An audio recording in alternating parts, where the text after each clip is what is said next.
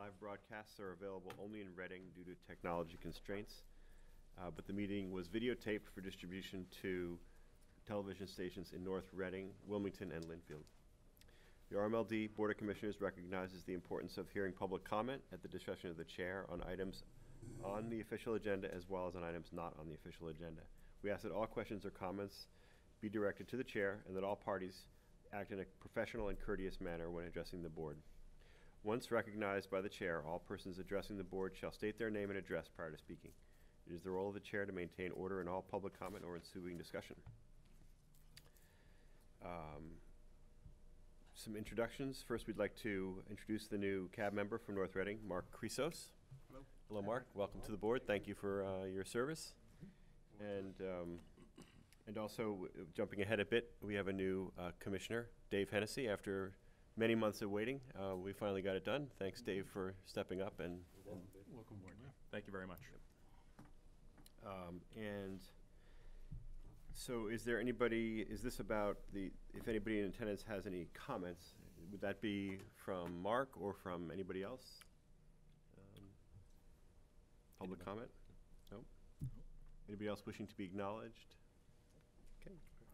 Okay. John will be, uh, Stempeck will be board secretary, is that okay, John? Very good, thank you. Okay. Dave, we've introduced you. And and now we have minutes to approve. Uh, The October 2 minutes. Move the October second, two thousand fourteen minutes be accepted as presented. Second? All in favor? And that is a 5-0 vote. Next time, Dave, right hand. Charter says right hand. Charter says right hand for some reason. Vestigial to Puritan days. I think the left hand That- belongs to that the in devil. him- That in him means her, and her means him. Exactly. Uh, The motion carried 5-0-0. Uh, General Manager's report. Hey, good evening, thank you. Um, I want to start off with just a little feedback from some of our uh, storms. Uh, The new nickname is Snow, Snowpocalypse, as I heard what we're having here. Um, We had back-to-back storms for a while, and uh, we actually had really no outages. We had, um, uh, the team was ready to go uh, in anticipation of, of it turning wet and getting heavy, but we managed to get through the majority of those first storms without any outages whatsoever. So I wanted to thank staff for being um, uh, ready to go. Uh, This most recent um, uh, storm, though, as the ice dams started and the icicles started, uh, we did get several of um, the ice dams, icicles breaking off and breaking SE cables and meter, meters off of the house. So we've had um, some of those occurring. And I know this isn't electrical, but I would like to remind the folks out there that if you have natural gas, there's vents on your gas meter. You should make sure that you um, dig them out. If you have septic, you have um, methane discharge pipes, you should shovel those out. Um, You know, gas dryers, electric dryers, um, you know, sometimes when you're having problems with your house, you're not thinking about all these things that could be backfeeding into the house. And um, We've actually dug some things out here where there was some gas fumes um, over in the line operations area. So, I think the regulation for the gas from your furnace, uh, if you have a gas furnace, is something like three feet. And it has to be, when it comes out the wall, it has to be at least three feet off the ground. Unfortunately, the snow is about six feet. So you're right, Right. you have to dig it out. The bathroom vents that are on your roof, a lot of those are um, blocked in as well, so. So it's vent check time. Um, Okay, the items B through F, um, I'm going to um, uh, start the presentation, and then I'm going to ask uh, Tom Olilla, who's one of our pretty recent hires. He's an integrated resource engineer uh, for the um, Integrated Resources Division. And he's going to talk about um, our new demand response program in Tangent. And I apologize to Mark because he heard a little bit of this at the CAB meeting. Um, But we promise it won't be completely redundant. And then Bill Selden will um, step in for Jane, who's on vacation, and handle um, uh, the competitive elec- electricity uh, topics. And then Hamid Jaffari, our Director of Engineering and Operations, will handle um, that, that section of it. And in that, we will target um, C, D, E, and then we'll wrap it up with F, if that's okay with everyone. Okay? You insist I have a pointer? Yes. Okay.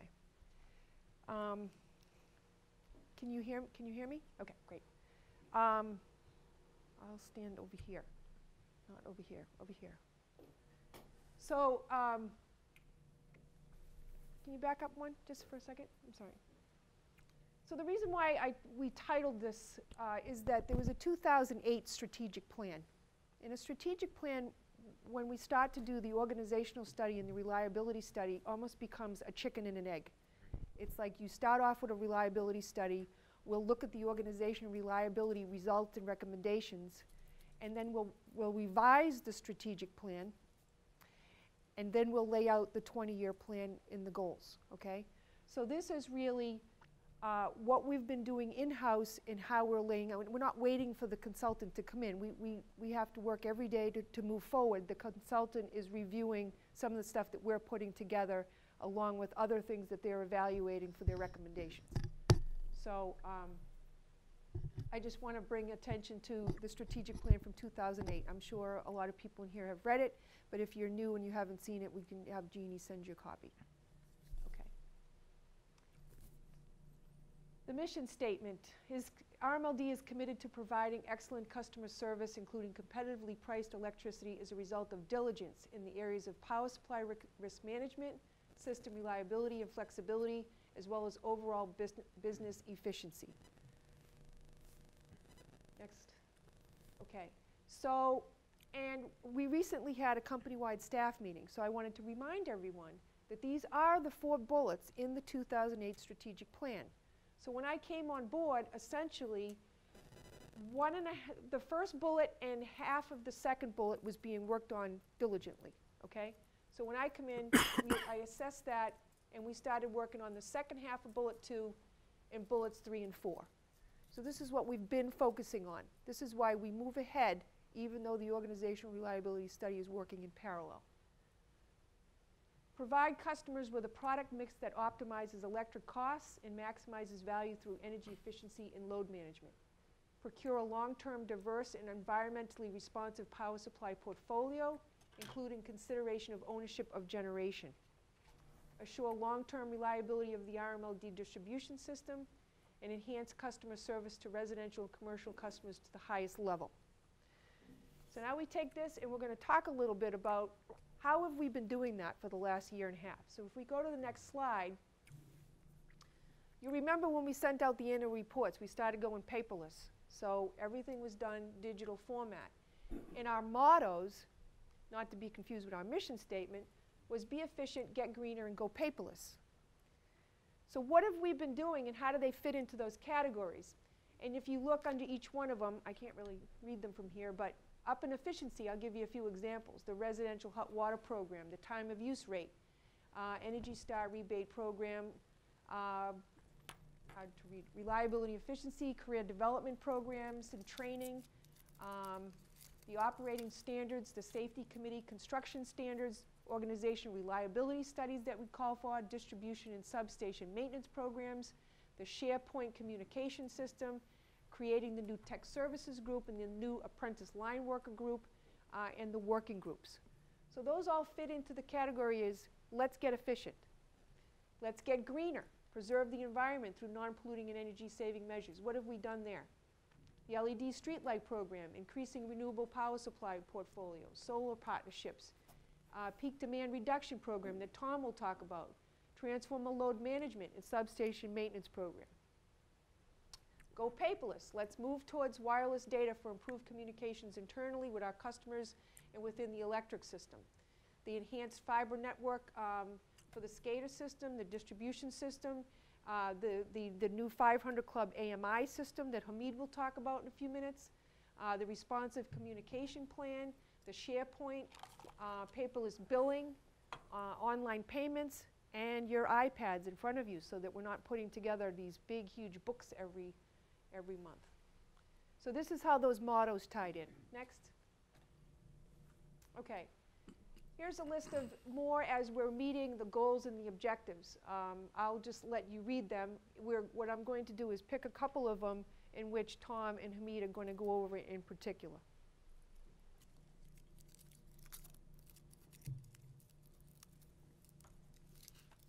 You want to go to the next slide? And there is a couple more. And I, and, you know, this, go into a six-year capital and expense budgets, um, unbundling the bills and the rates. You're all familiar with a lot of the things that we have accomplished. And I just want you to see how those fit into the existing strategic plan. Okay. So next, we're going to talk about the technology roadmap and how we're going to make the system smarter so that it communicates with the transmission systems that we connect with and smarter so that we can, if, we're, if we get into a situation where we have an outage, we want to get the power back as soon as possible, so we're selling kilowatts again. We want to get right back uh, the power to everyone. Um, this is the 20-year plan. We're going to create a smarter system technology roadmap. We're going to develop and implement the GIS plan. We're going to install AMI and a mesh network. Um, Hamid's going to talk about that a little bit more. Everyone familiar here that we have a fixed network AMR system, not an AMI system. So we, we held off on the 500 club, larger customers, and we're going to an AMI system. We're going to integrate it on top of the fixed network and then put AMIs here and there where we need that two-way communication. But I'll let Hamid go into that a little bit more. Evaluate an implementation of distribu distribution generation. Develop cybersecurity system for RMLD's technology, which is a requirement, and maintaining the reliability. So these are some of the topics that I'm going to let uh, my uh, staff go over in some great detail. Is there any questions so far? Okay, great. Next slide. I'm turning it over to Bill Selden to just start talking about competitive electricity.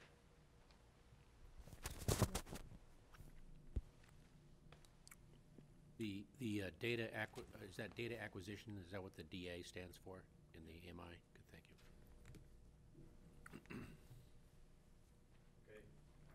I'll be brief because Colleen touched on most of this already with the first two bullets. Uh, But just to get a little specific on some of the efficiency um, programs that we're working on. For the residential customers, we uh, currently offer uh, renewable energy rebates and appliance rebates.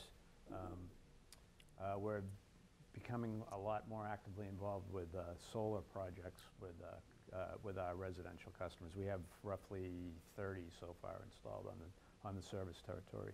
On the commercial side, we have the uh, Commercial Energy Initiative, which the efficiency engineers, Tom and Tiers, are, are working diligently on with a lot of our commercial customers, as well as a, a, a lot of lighting rebates. Um, uh, And I'd be, we, anybody in our department would be happy to talk in greater detail on any of those types of programs that are currently going on. You just hit the, uh, Tom's going to hit on um, distributive de- generation a little bit as well as Hamid is. Um, We, we offer a myriad of rate options to residential and commercial customers to, uh, to cover efficiency. The controlled hot water heater project, which is in transition right now. We're trying to get all of, all of our um, hot water heaters up under one uh, uniform type of technology. We have a time of use rate not only for residential customers, but also for the uh, industrial and commercial customers. Uh, And uh, we offer interruptible rates. Uh, On, for demand response, again, Tom's going to really touch a lot on uh, what he's doing with the peak demand reduction program on the next few slides. Um, Again, um, probably the, the, the other thing to highlight is the economic development that we would like to push more of. um, uh, Instead of having a lot of people talk about revenue erosion because of efficiency that's going on, uh, we're trying to meet the challenge by offering um, technology that will help sell kilowatt hours, like the uh, electric charging stations, which Tiers has been working on. uh, whi- which, uh, We applied for a grant, we, we got a grant, and uh, installed some um, units already at some commercial and industrial customer bases, and we're hoping to grow, grow that, as well as uh, some more um, work with uh, Sequentric systems, which are wireless, and we're else, we're using right now for the hot water heater program, but we can uh, hopefully expand that into other avenues. So I'm gonna turn it over to Tom.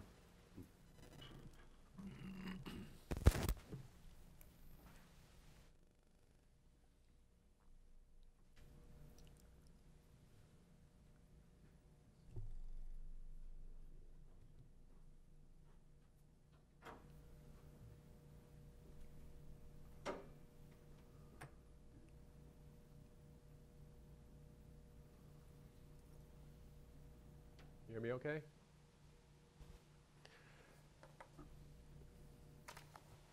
Okay. Hello, everybody. Hello? Um, As you know, uh, utility studies have consistently uh, ranked RMLD rates as some of the lowest in the state. And our challenge as managers of the organization is to continue that tradition. One of the ways we do that is by working with our largest customers to mitigate the uh, effects of uh, cost pressures that uh, affect all of us.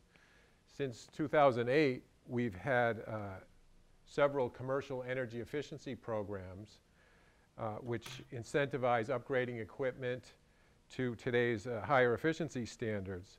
And last year, we added a new program aimed at reducing the peak demand of our largest commercial and munis- municipal customers. And that's what I'd like to really focus on tonight, just to give you an overview of how that program works. so if you go ahead to the next slide, please.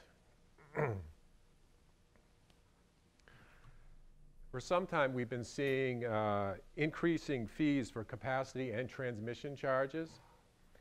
And almost all of the utility market forecasts indicate that those will continue to rise in the near future. And you can see from this chart that as a percentage of our overall wholesale cost, those two items are becoming a much bigger piece of the pie. So that's really the goal of the peak demand reduction program is to help mitigate those increases. It hasn't hit us full force yet, but we know it's coming. So uh, we're putting the things in place to help us and our customers deal with that. Tom, just a question. I know you're in the middle of this, but we have a new commissioner, and maybe people in the public don't know what a capacity charge or a transmission charge is. So we do, and you do. But if anybody's watching, uh, maybe just explain what those two things are. Sure, sure. Um, our wholesale uh, co- um, power costs are broken down into several buckets, if you will. Um, with the deregulation of the industry uh, several years ago, the industry was divided up into certain segments. There was the power plants that most people think of, you know, Seabrook or the coal generating plant. That's the easiest to identify. So it's sort of three phases: the power plants, the transmission lines that take the power from the power plants to get them to the major distribution points, and then the last leg is the distribution side. And uh, RMLD is in the distribution segment. So we all, up the power that we sell to our customers, we have to buy from the power plants and the transmission owners that get, get the power to us. So the uh, so-called capacity costs are tied to the uh, building of the power plants themselves. So tho- those are long-term, very highly capital-intensive investments. So it really has to be thought out ahead of time, and you're, you're sort of accruing money for, to pay for those uh, well in advance. And the same thing goes on the transmission side. That's to cover the cost of the copper, the infrastructure, to get the high voltage, the power from the power plants to the distribution centers. So those two items are really tied to the infrastructure of the plants and the, uh, the wires, the, uh, the, uh, the feeding mechanisms that gets the power to us. Just a quick, may I, may I ask a quick question? The capacity is a function of our peak day on a given month or, or over the year, right? Correct. So that the very highest day of usage is that green piece, green Yes. chunk there. So if it, it's really just a single day of the whole year It's actually a single hour. a single hour of the whole year is what results in that giant green thing. That's, that's the way that the industry is structured, that the rates people pay for, the- to cover those capacity is determined by uh, that one hour of the year when the- the entire system, all of ISO New England is maxed out, because that's what you have to plan for. From a- an engineering and a systems point of view, it's a horrible way to run a piece of equipment, is size it for the worst case, and then most of the year, it's running at 40% or 30% of capacity. But the way uh, electricity works, you have to be able to supply the demand at that worst-case condition. And is that capacity cost our capacity in RMLD, or is that our portion Well, of every, the? Well, everybody who uh, takes load has to pay a portion of that. So that's why um, you could think of it that ISO New England, at that peak hour, takes a snapshot of how much power all of the different users are using. And then that piece of the pie, that determines your piece of the pie for the next uh, capacity year. So I just thought we'd do that for, for Dave and anybody else who might Yeah. be watching. That's wh- why he's doing this, because if we can knock that one hour every month, and, and certainly the one in July, that's the worst of the year, there's a huge payoff, a huge six-figure Because then payoff. we have a smaller piece of the pie of, of this overall cost. to Exactly. Charge us. Right. Because we're, uh, we're not a profit-making entity, but all of the costs that we incur, we have to pass along to all of our, our customers.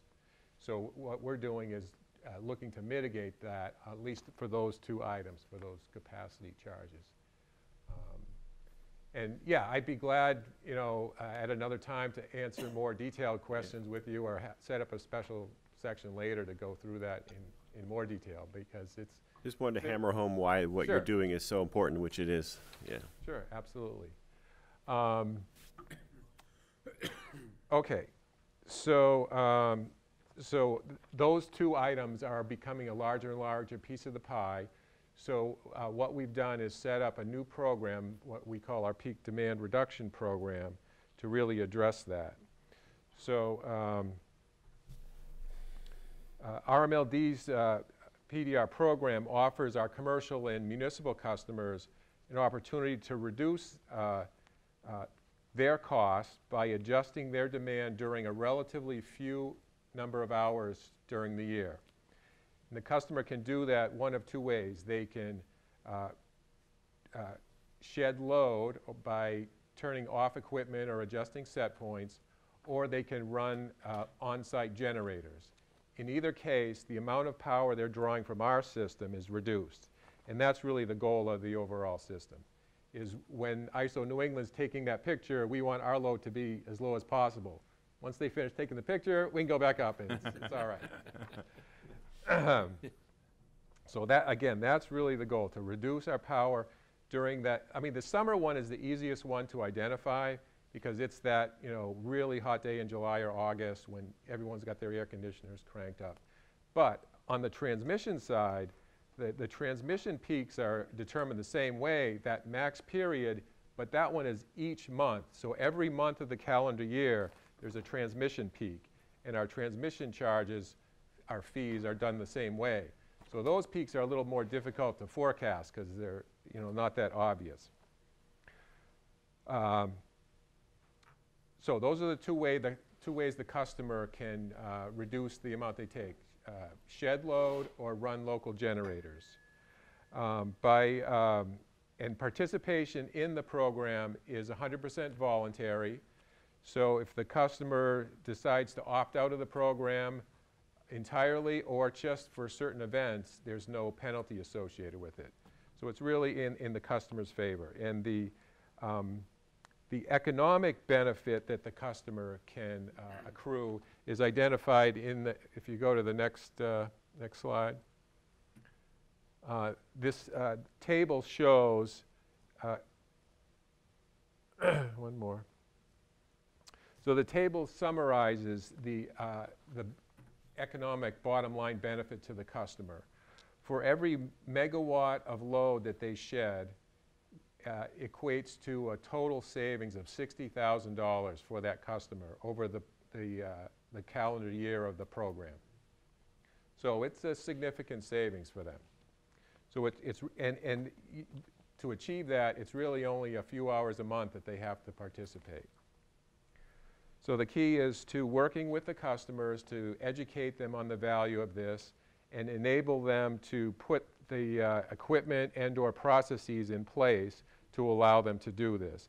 Some of it's uh, communication gear, getting them the information on what their loads are, eh, or tying into automated systems that adjust their air conditioners during those hours.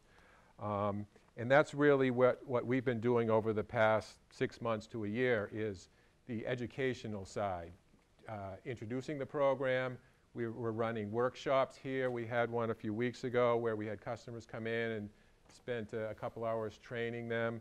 We're doing a lot of on-site visits, energy audits to work with them to figure out, depending on the type of company it is, they would have different uh, loads, which is important to them. Whether you're, you're an office building, it's more on the uh, HVAC, air conditioner side. If it's a factory, maybe there's certain equipment that they could look at, et cetera. So that's, that's where we're at now, is really educating the customers and enabling them to participate in the program.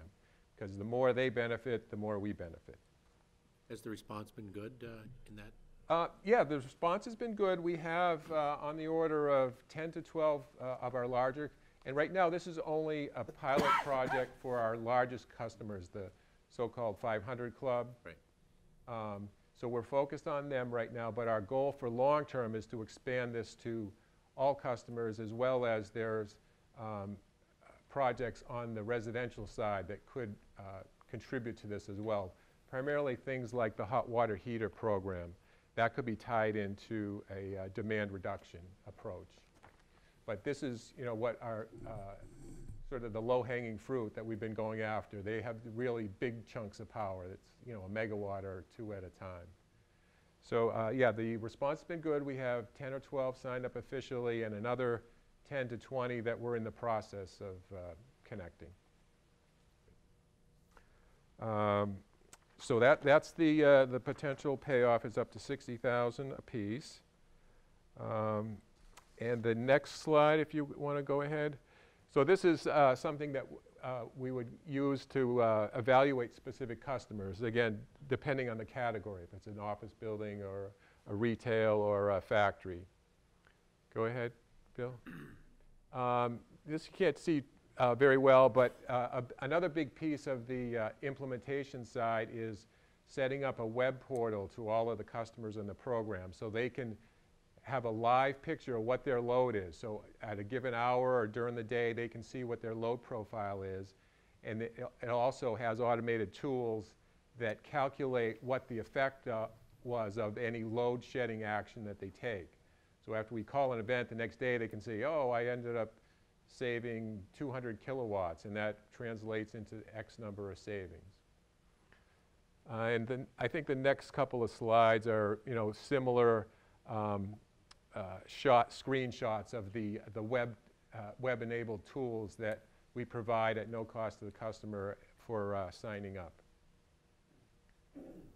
Tom? Tom, so, yeah, what's the significance of the five hundred, is that, is that, what does that designate? You I think, 500 uh, I- That's a good question. I think at one time it was 500 kilowatt hours, or, We did a study several years ago where um, we tried to define what our largest customers were. and What the cutoff point was 500 kilowatts. So the 500 club is anybody that's 500 kilowatt or greater.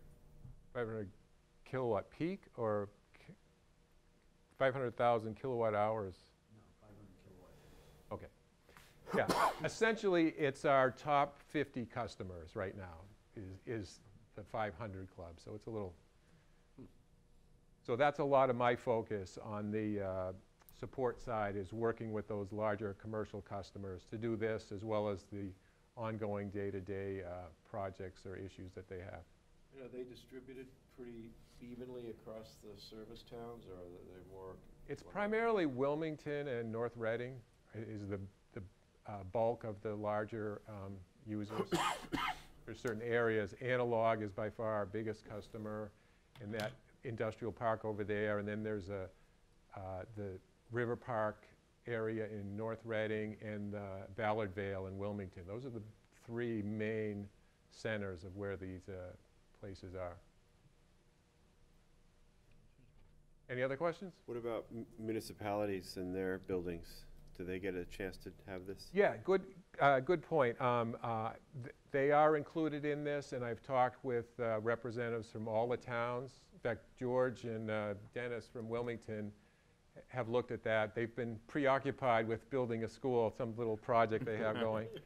Um, But, but all of the municipal um, facilities people I've talked to and uh, at least made them aware of the program, and we're still rolling at that out because they're, you know, they have some uh, pretty high peaks at some of the school buildings that, that could benefit from it. So uh, there's interest, um, and they're certainly eligible to participate.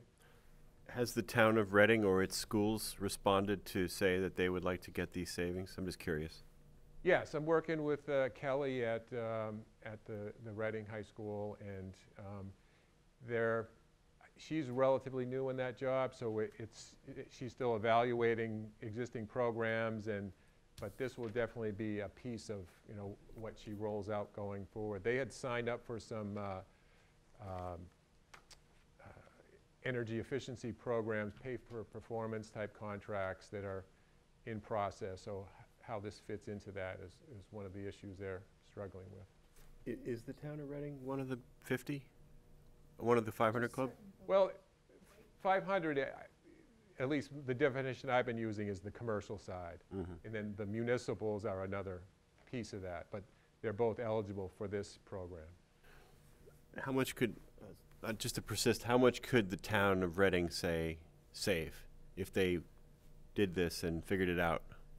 Reading, uh, some of their buildings were peaking, I think, two or 400. Uh, So uh, it could be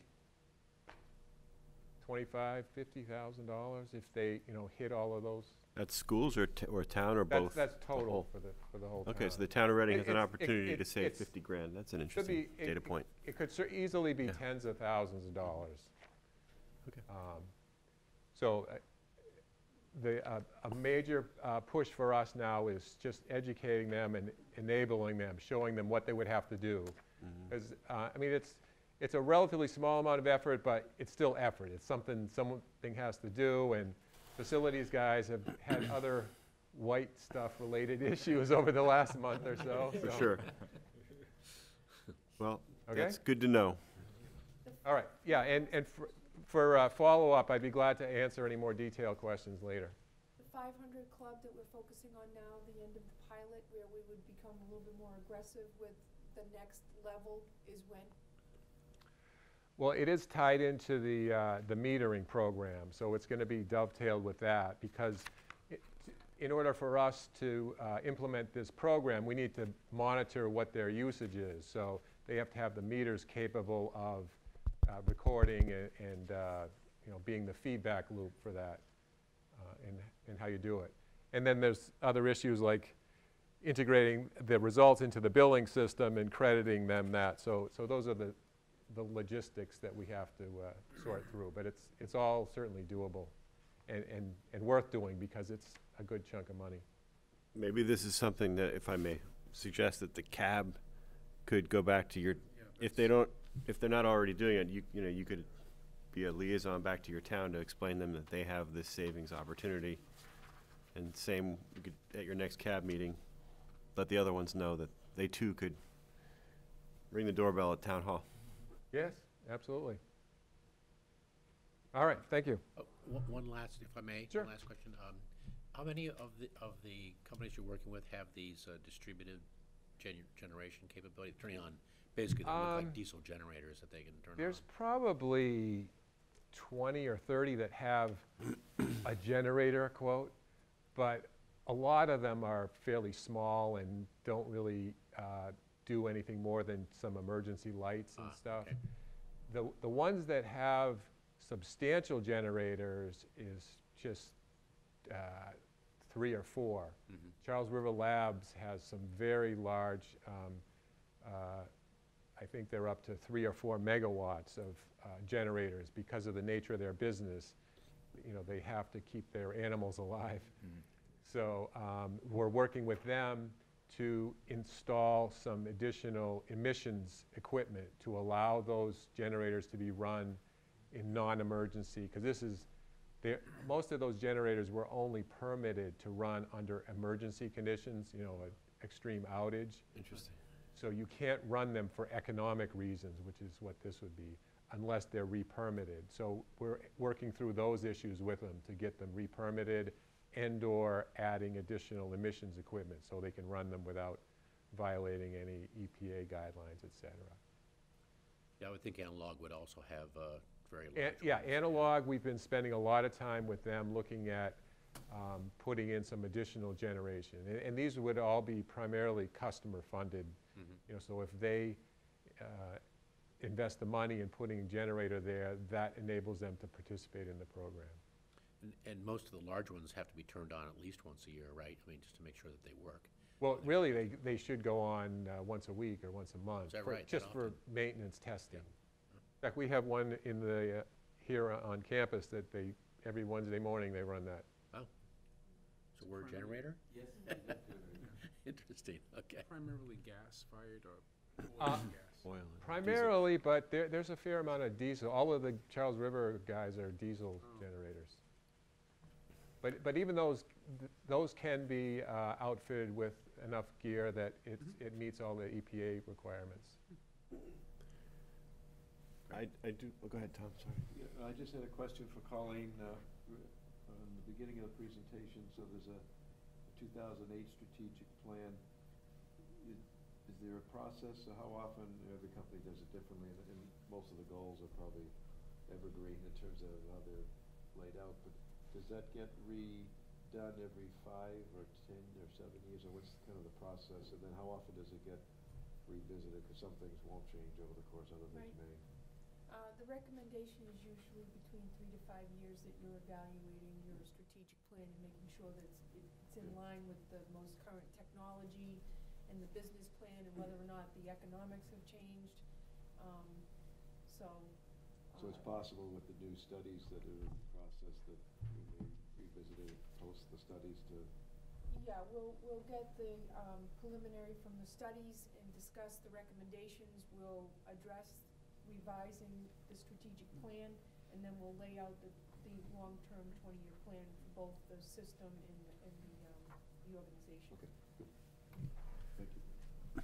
I do have, unless anybody else does, I have another question for Tom. Mhm. So the numbers look, just to an uninformed person, high, like somebody could get sixty thousand dollars back from RMLD just for turning off things. Where do those numbers come from, like three dollars and fifty cents for a kilowatt hour when normally they're paying a It- dime or? It's ra, it's, it's based on the sys, the uh, savings that we achieve uh, on our capacity charges. So we're essentially sharing the total savings that the system gets with the customer. So if, if a customer, like the example, saves sixty thousand, we're, our overall system is saving that as well. So our capacity They're getting half? that. They're getting So every- half? Is that E- Every month, uh, we, get- we- we, we- Jane gets a bill from ISO on, these are your transmission fees and these are your capacity fees. So um, it's all based on those um, So, numbers. I get it. So, so we're giving them half back that we, are It's not that, you know, they- they're not issuing checks. It's not like you're gonna get rebates. Right. it's, uh, Overall, the capacity and transmission charges, they're gonna be reduced for the total amount that you're gonna have to pay ISO. Right. I understand. So that way we save and then the customer. I understand. I understand that we're not writing them checks. I understand that their bills are going down and that uh, we're saving more than we're giving, we're reducing their, I understand. So, but it's about half, is that it? So Roughly half, yeah. who, I mean, these are, these are rates, so, but who set those rates? Isn't that wha- our job, the board?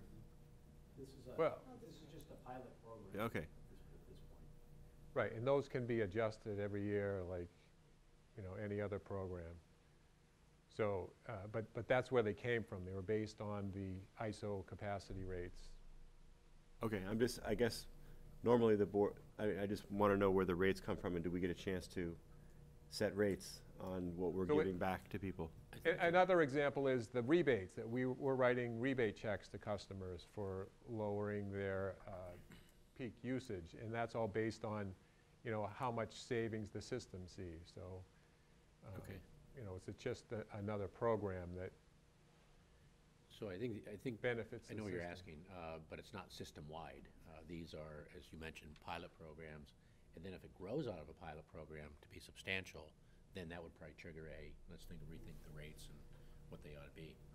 Right? I mean, if you can reduce the overall peak and whatnot, I mean, everything's going the right way. It's a Yeah. positive spiral. No, no, no doubt, no doubt.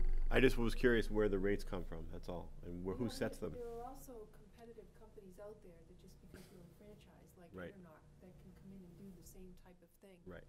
Um, so we want them to come to us, because with the EnerNOC. No doubt. We're not getting the reduction in the peak, we still have to pay. I see. The peak price, because that virtual generation that they're creating by turning on their generator, um, is, is worth the money. I So- understand. No, I, I get that it's worth it. It's Yeah. great stuff. I'm just, I'm only getting down to the level of rate setting on, on when we're giving people back a certain rate, like where that number comes from and when does the board look at that? The specific rate that we're basing the credit off of is a FERC filed rate. Okay, So we have no, we don't set those rates. Those rates are dictated to us as to what we're gonna pay. the dollar fifty and the three fifty? Get, yes. The dollar fifty and the three fifty are set by FERC? And that's nothing we have anything, It's- It's actually twice that. okay, That's just a calculated credit off of a FERC filed rate. okay. Well, it's all, More complicated than we thought. yeah. All right, well, it's, it's great stuff. Um, is, do we have the, the last question I have is, um, do we have the technical capacity at this time for, if we wanted to expand it to a larger segment of people, that an average homeowner, okay, they're not gonna get sixty grand off their bill, but maybe they'll get sixty bucks off their annual bill. They get five dollars a month or ten dollars a month for turning off the AC at three o'clock. Well, right now, we're working with the five hundred club, because that was that line. I know. New meters that we went to. Right. With a two-way communication, so as those meters are coming in, do we have them all in yet? Well, no, the, the, They're ordered, they're coming in, and as we start to implement them into the five hundred club, or whoever wants to participate in, in that group, and then, you know, we, we have to talk more about how many of these meters we, we want, we want to buy, because you, you had an investment of an AMR system that we Right. don't want to, um, eliminate, but that Gotcha. two-way communication is where we need to target, so that the next level of people that we address, um, will be probably the next level of usage. And, um, Right. and look at the cost to us, and then maybe what we give back to the customer if we have to put more capital into it to changing out Right. meters that are already existing. Yeah, on, on the residential side, the hot, the electric hot water heaters is probably the low-hanging fruit that Right. go at. And, and we started a pilot program with those, that we have two hundred or so in the field now. We could expand that and do a mo- uh, you know, a more aggressive peak demand program with that to, you know, each individual house is not a whole lot, but when you add them all together, you know, it gets substantial. And, and the good thing about those is the homeowner is r- really not actively involved, so we're, we're controlling uh, their ho- hot water heater so it won't go on in the afternoon. Right, right. So it's, it's much easier to implement than calling up the facilities manager at Analog and say, hey, shut that machine off. It's, Cold showers in the it's more, au- more automated, without, without cold showers. We're not affecting comfort or, or performance at all, believe me. Might be mentioning like uh, a home area network where you're on a time of use rate and you have this box in your house that we're sending you a message that says it's a peak and the resident lowers their peak usage during that hour, then certainly we can come up with a program to incentivize them as well. Right. It's just getting that two-way communication to the home area network, um, and how many people would be interested in that and how many meters we'd have to Right, change out. understood. Well, top level, it's all great stuff. I thi- I mean, it's long overdue that the department is, is doing this stuff. It's obviously a huge payback for the ratepayer, you know, at the high, at the high level. It would be, g- is this the end of the presentation? Yes. I keep interrupting, I'm Well, sorry. it's the end of Tom's. So I guess, d- is, is there some simple, is there, is there a bottom line on this that we expect it's gonna cost X in terms of the givebacks, but we're gonna get Y back? You know, what are those two numbers? That'd be good to see that at some point, just so that we know, you know, we're giving these amounts back, but we're seeing this larger savings um, as you progress, to just get that summary. We can put together Yeah. charts of, Yeah. of what the peaks But are, it- but but in- as, at- as Tom said, ca- capacity transmission is gonna be going up. um, Understood. Significantly, so, um, But just some projections, and just so we know how we can get a sense, and so can the public, about how much the department is saving ratepayers and saving, you know, and, and improving our business through these efforts would be great to see just some summaries and Sure. projections down the road. All right. Right. Thank you Thank you. very much. You're welcome. Excellent stuff. Excellent. Yep. Yep. Good work.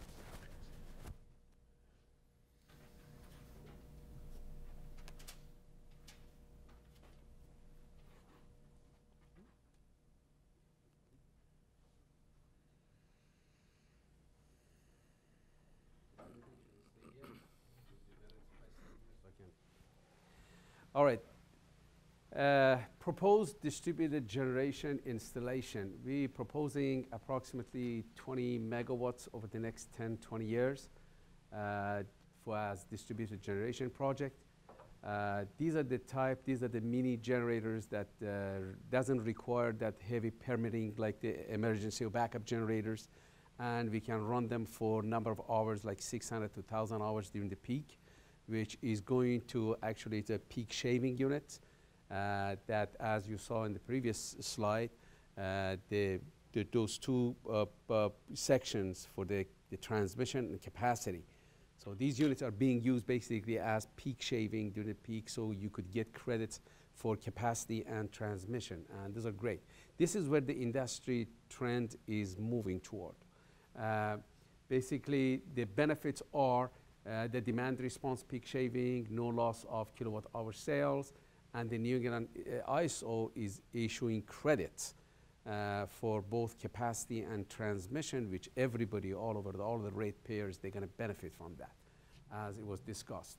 And uh, uh, the cost, how much will it cost? It's going to cost approximately one million dollars installed per megawatt. And uh, these, we got two models. We're working on actually two models for RMLD. One is customer owned, which means the customer, they're going to be paying for the installation. And the benefit for us would be that we get 50% of the credit and customer gets another 50% credit for the capacity and transmission. We did analysis for one of these units for approximately for four megawatts over the period of 10 years. We can save approximately $5 million, $5 million, $5.7 million or $570,000 a year savings for us if we move toward this program. So I see the, excuse me if I may ask a Sure. Uh, The ROI is about five years or so on it. What's the equipment life? The equipment life is generally for the hours that they're being run, it's about 10 years, Oh, 10 so, to okay. 15 years. So for the first five years, you, you'd be paying the credit that you get, basically it's paying off for the unit. And then anything after that, it's a free, free uh, credit that is coming to us. So if you recall, this is the new technology trend. If you recall, right back 20 years ago, 30 years ago, you had these big uh, uh, mainframe computers that now they're replaced by iPads. And you know, the same kind of concept, these big hefty power plants, which is gonna cost billions of dollars, now they've been broken down into mini generators on site for increasing the reliability and economic cost benefits that they do have and they bring now. Now the capacity and transmission credit is gonna triple in 2017. So if they, if that happens, which the New England ISO has promised or they predicting it's gonna happen, these units could be paid back even less than five years, probably at faster rate, probably three and a half to four years. So this is where the technology trend is. Like what I said, we've got two templates, one for the customer paid, and the other one is for RMLD. Or RMLD, we're trying to do that to install those units at the substations, which you see at the right over here. These are the generators that they go on the feeders. The limit is two and a half megawatts per feeder without getting into heavy permitting. And we can use those during the peak and bring the cost savings to, to our ratepayers, which is really great and it makes economic sense. Any questions? May, may I make a comment? Um, could you mention some of the other towns that are mm. Yeah, the other towns that they're looking into municipals are Middleborough, we just visited, they, they, they installing some of these units. Uh, uh, the, I believe, uh, Taunton, yes, Taunton they gone, definitely Taunton. Braintree is looking into that. And uh, West Boylston. Shrewsbury. Yeah, Shrewsbury had them for a while, right, they've had them for a while. But the Shrewsbury units are not, this, uh, these are not the n- new efficient generators. These are the old technology that Tom and I, we visited, we, and uh, we looked at them. So it is, the, these are the micro, like micro turbines. They're, they got silencer that, you know, they're running very efficiently and low noise, like at 50 to 50 decibels, which is a little bit audible, yeah, if you stay like about 10, 15 feet away from the generator. But as you move away 10 f- or 15 feet, you barely can hear these units. So with the new technology. And the good thing about that is that, you know, we can uh, operate that from the SCADA, which is going to be part of this slide that I'm uh, going to be explaining. Yes? So, uh, what's your vision on this? So, uh, it sounds like it's a easy, quick win for RMLD, but do you envision several of these over the next?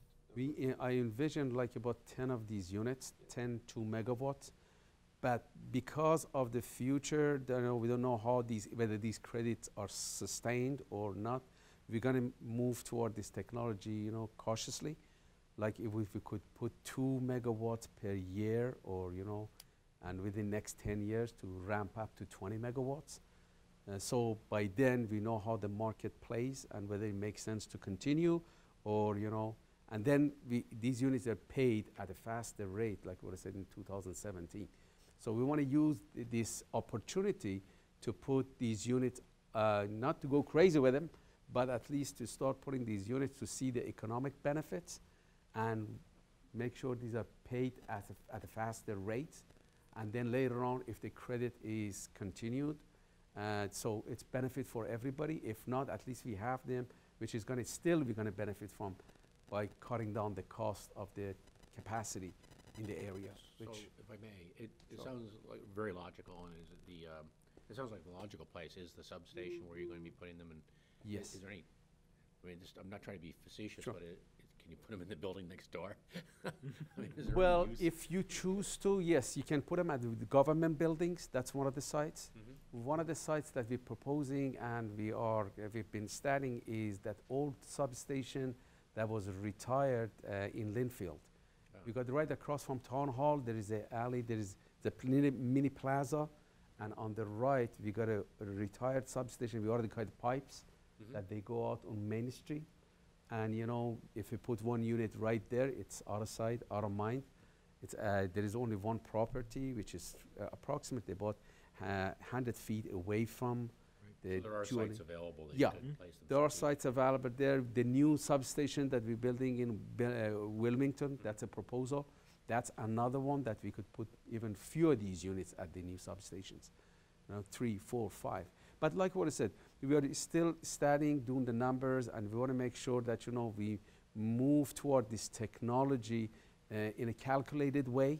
So we don't want to invest all of a sudden, you know, billions, uh, millions of dollars over here, and then all of a sudden we see that, you know, well, oh, the capacity and transmission credits are being cut away, and now the payback for these units are going to be like seven to 10 years. So that, we don't want that to happen. So we are moving, like, like what I said, very cautiously. But right now, it makes economic sense, and uh, that's where the technology is going. Uh, and even if we pay them off within five to six to seven years, still it's worth having these units because uh, during the peak time you fire them up from the SCADA, pushing one button, and that one that means the cost saving in the capacity and transmission both for everybody, all the ratepayers across the board. Hamid, um, Yes. have you had initial discussions at all with any of the towns of where these are gonna be sited? We haven't, we are looking, what, at the substations, yes, we know pretty much, pretty much we are going to have, basically it's at our Liberty. And we're getting the permit for that, obviously. At the other sites, we haven't approved, because this is still in the design stage and idea. Uh, I'm proposing one unit, one two megawatt unit for FY 2016 and putting in the budget.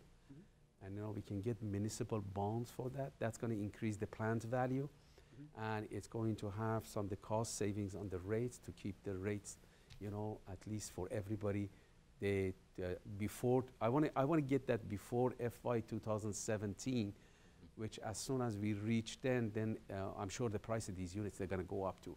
Because all the manufacturers, they want a portion of the pie as well. Sure. So this is the time to get in, and that's what we're proposing. Uh, yeah, along those lines, if I may uh, uh, continue, what it is that you know we are looking. Uh, this slide is showing the, the grid uh, modernization in one snapshot. Many, To see- yes, I'm before you sorry. jump into this, I did have a question about those. Sure. These are gas generators? These are gas-driven. There are two types: the gas and also diesel. Okay. Dual fuel ones, they're more expensive than, you know, it's gonna cost you approximately, if you wanna go dual fuel, the cost is gonna go up. It's not efficient, and now you're gonna get more into environmental Yeah. limitations and permitting, which we're trying to avoid. Okay, couple questions. Sure. Are those assumptions based on today's fossil prices? Or are they based on what they were two years ago, i.e. double what they are now and what they'll, will be in the future? They are based on the b- old uh, prices. The last price that we got was about, about six months ago, you know, and it was based on whatever the price was six months ago. And uh, Of the unit? of the units, right. I'm talking about the price of the fuel. The price of the fuel, no, uh, they, they're not based on that. I don't think it is the, You're the saving, I prices mean, you're, that, you know. the- the operation, These, these units aren't gonna be run continuously. understood. Trying to clip Right. these. I understand. The fuel is a relatively small Right. piece of the overall. I got you. It doesn't really matter that much. Okay. So another technology that's getting better are batteries. Lithium ion batteries are getting, so they've been dubious for grid storage and discharge, but they're getting way better really quickly. And the DOE has huge programs and there's all kinds of products coming out in grid batteries, mm-hmm. which would do exactly the same thing, where you would, as you know, Right. you would trickle charge them overnight when power is dirt cheap, mm-hmm. and bang, turn it on at 3 p.m. to 5 p.m., discharge them, do the same thing at night. So I would like to see a, to- a, a full analysis that's why this would be better than a lithium ion battery, given that we'd be talking a couple, three years from now before we'd be putting one in. Right now, to the base of, that, as I've done the research, it's not really, it's not cost uh, uh, economical, you know, there is not, the economic benefits for the batteries are not there yet, because they're not efficient, and these are not, you need huge field with huge amount of these battery cells in order to store the energy, the maintenance cost, and all said and done, it's like solar technology which the efficiency, yeah, everybody gets excited about it. Yeah, let's put the solar panels up and here they, yeah, it they cost right now it, per kilowatt uh, hour that you know they can deliver. The cost is astronomical. It's Okay. not re- they pay the return of investment on the solar energy is approximately 15 Talk to about 20 batteries, years. though. For batteries, it's going to be more than 10 years. Absolutely no way that you know you can find a system that I can guarantee you that the, payback, the return of investment is going to be around five years for any type of installation. Well, I think the other thing we would need to consider, because, I mean, I'm always intrigued by the batteries as well. Um, It'd be great if you could do a, some, a test in parallel Right. with them if it didn't cost too much. Uh, But this is a proven technology Yes. that you're talking about. It's been in the field, it's well-tested, very reliable. The battery, and, and you're right, the batteries are coming out, and I've gone through some of the presentations of Right. those batteries. They are huge, and Yeah. then you have to convert it into AC, you need Right. all the inverters, you need all kinds of kinds of issues Right. Okay, so associated with it. point taken. So the other one is expansion of the sort of programs That's Tom right. is talking That's right. about. So you want to knock your two megawatts off Right, right. with this new fossil fuel generator that you've put somewhere. That's right. The same two megawatts would become from an even further expansion of the sort of thing Tom and Right. Pauline and you all are Right. working on. Every So- bit helps. Right, so what I'm saying is, why would we not simply further expand the peak shaving op- options to a deeper level to the, you know, 500 club and the 400 club and the whatever it is, go to the next level down and do the same thing? Why would we want to add this rather than just do the, do it intelligently and knock the demand down? But incrementally, we are moving toward this. Remember, these are all new technologies, and we want to make sure to we take the minimum risk. But like what uh, uh, Mr. Stempeck said, we want to make sure we approach the proven technologies first, and then slowly migrate toward the developing technologies. I get the high concept. What I'm saying is I would like, to- as with batteries, which maybe you're right that they- they're non-starters, the analysis of Mm-hmm. Oh, why, sure, we can. before we get a budget Right. that says Right. we're gonna spend a seven-figure sum and go through permitting and a local siting of a Mm-hmm. fossil fuel generator in our district, that we've, we've explained how the same thing could be done Right. with expansion of what Tom's talking about and what the relative cost, benefits, and complexity is of doing either one. Oh. Um, because uh, you're about to talk about your, s- your smart grid, which is amazing, which is exactly what could do, you know, and that's the future right there. Right. Well, I- y- you know, uh, history repeats itself. Right. and- And I remember when I first came to Reading, well, we were paying off a bond issue on an, an incinerator, which was the hot new mm-hmm. environmental technology, mm-hmm. Mm-hmm. which we never used. The town never used it, from my understanding. But yet we had this huge bond issue that we were trying to pay off through our taxes because we didn't either have the right environmental permits, but it was hot technology at the time. Right. So I'm afraid, I'm a little, le- I love new technology, but I'm a little leery of it. Yeah, I agree, we need to go through the analysis. Uh, and I think it'd be wonderful if we could do a trial test. Well, I thought you were gonna, about to make the opposite point, that we're, we're about to issue a bond for two million dollars to put up a generator that becomes a, a, a stranded white elephant, because we turned out not to need it thanks to efficiencies and thanks to smart grid. But it turns out you, I thought you were helping this same point I was trying to make, but I'm afraid I I'm the think that Luddite of it, it, group. it could, it could cut both ways, though, that argument that. It could, you're So, absolutely right. anyway, Sure.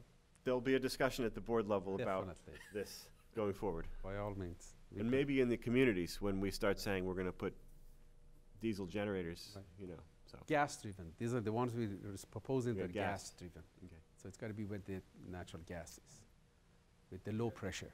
As you guys know, in North Reading, the, you know, this pipeline issue's got everyone going kooky. Mm-hmm.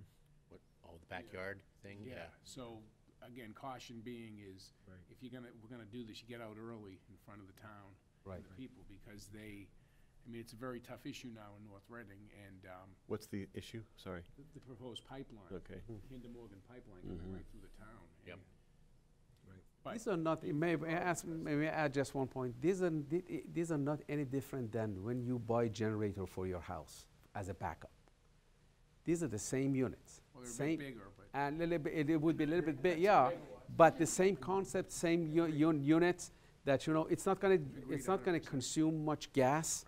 Right. It's only You know, run it's the low pressure and very efficient, limited hours. You're ta- talking about only if 600 hours a year, Mhm. if it happens, you know, maybe less. Mhm. But for that 600 hours, the benefit that you get, the economic benefit, it just justifies you. We, we could do the numbers and show you that exactly how.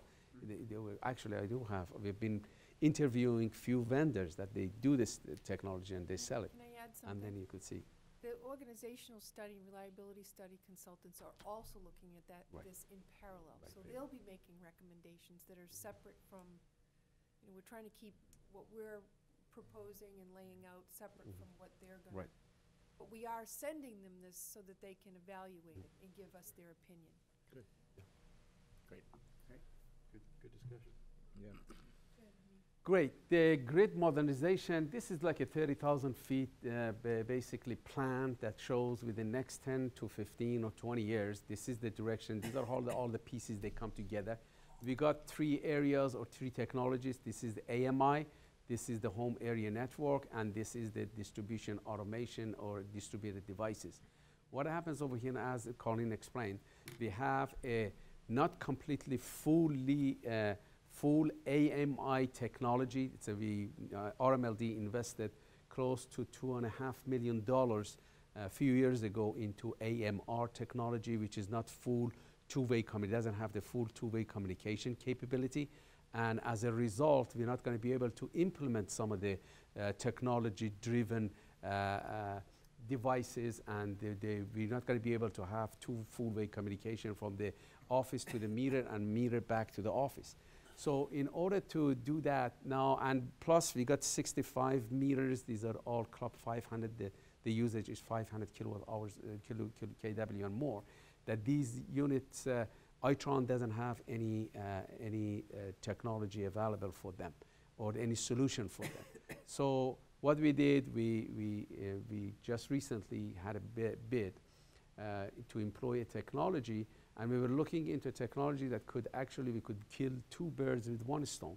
We just didn't want that to invest on AMI that could, you, could utilize our existing AMI Itron system without, you know, without uh, spending more money and uh, actually uh, changing out all the meters.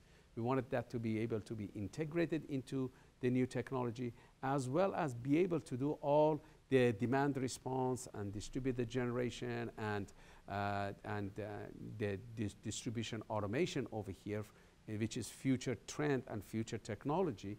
Because the reason for the distribution automation is the faster we restore the outages, the faster the meters they're going to be restored and the money making for RMLD. So these three areas we looked into and we purchased uh, basically the Eaton technology, which is latest and newest, which is this, this system, this network, it's a mesh network. It's going to be able to handle the, uh, uh, the metering system needs as well as the demand response and home area network devices, which the next generation of uh, the home appliances, they're going to be IP based. So you can run them right from your iPad or from, so the Zigbee technology that they used to now, it's obsolete almost. So the new generation of appliances, they're all IP based. So this system is uh, going to be able to handle the IP based technology very well. And uh, uh, the bandwidth is large enough that we can bring the distribution uh, uh devices, the IEDs, intelligent electronic devices out in the field, back to the office over here. So these three systems, they're going to send the data into the data collector on the poles that we're going to have. And the data collector, is, there is a firewall over here, is going to pass on to the switch that is going to convert the signal into fiber. And the fiber is going to jump on the RMLD fiber loop, which we have all over in all, all the system, with 17 nodes, fiber nodes. So as soon as the radio signal is reaching one of these nodes, it's going to jump, this, uh, the, the data is going to jump on this fiber loop or fiber network, and that's being brought back to the servers in the office and firewalls passing through another firewall for security. So the data security is there. And then we're going to bring all, to, all these subsystems, which is outage management system, SCADA system, AMI server, demand side uh, management, and the Cogsdale. So all of these data, this system is going to be able to feed all of these servers so every server can get the related data, the data it needs for processing and integrating all the information together. The next slide, please. This slide shows once the information comes to these uh, uh, host servers, then it's going to be transferred into some type of, they call it uh, service-oriented architecture or enterprise service bus which is a data superhighway. What it does, every lane is dedicated for certain data, that it's not going to slow down the speed of the servers and data processing. So once that data comes in and it's going to be classified to what goes where, uh, then from there it's going to go to the customer information system, billing, integrated work order management system, and for reporting. This is the historic data the real-time data from the SCADA and outage management system is going to go into the real-time bus. It's a server, real-time server, that is going to come to the SCADA for processing for the fault detection, isolation, restoration system, which means automatically the fault is going to be uh, isolated within matter of seconds rather than hours. That means the, matter, the meters, they're going to be brought back to life faster.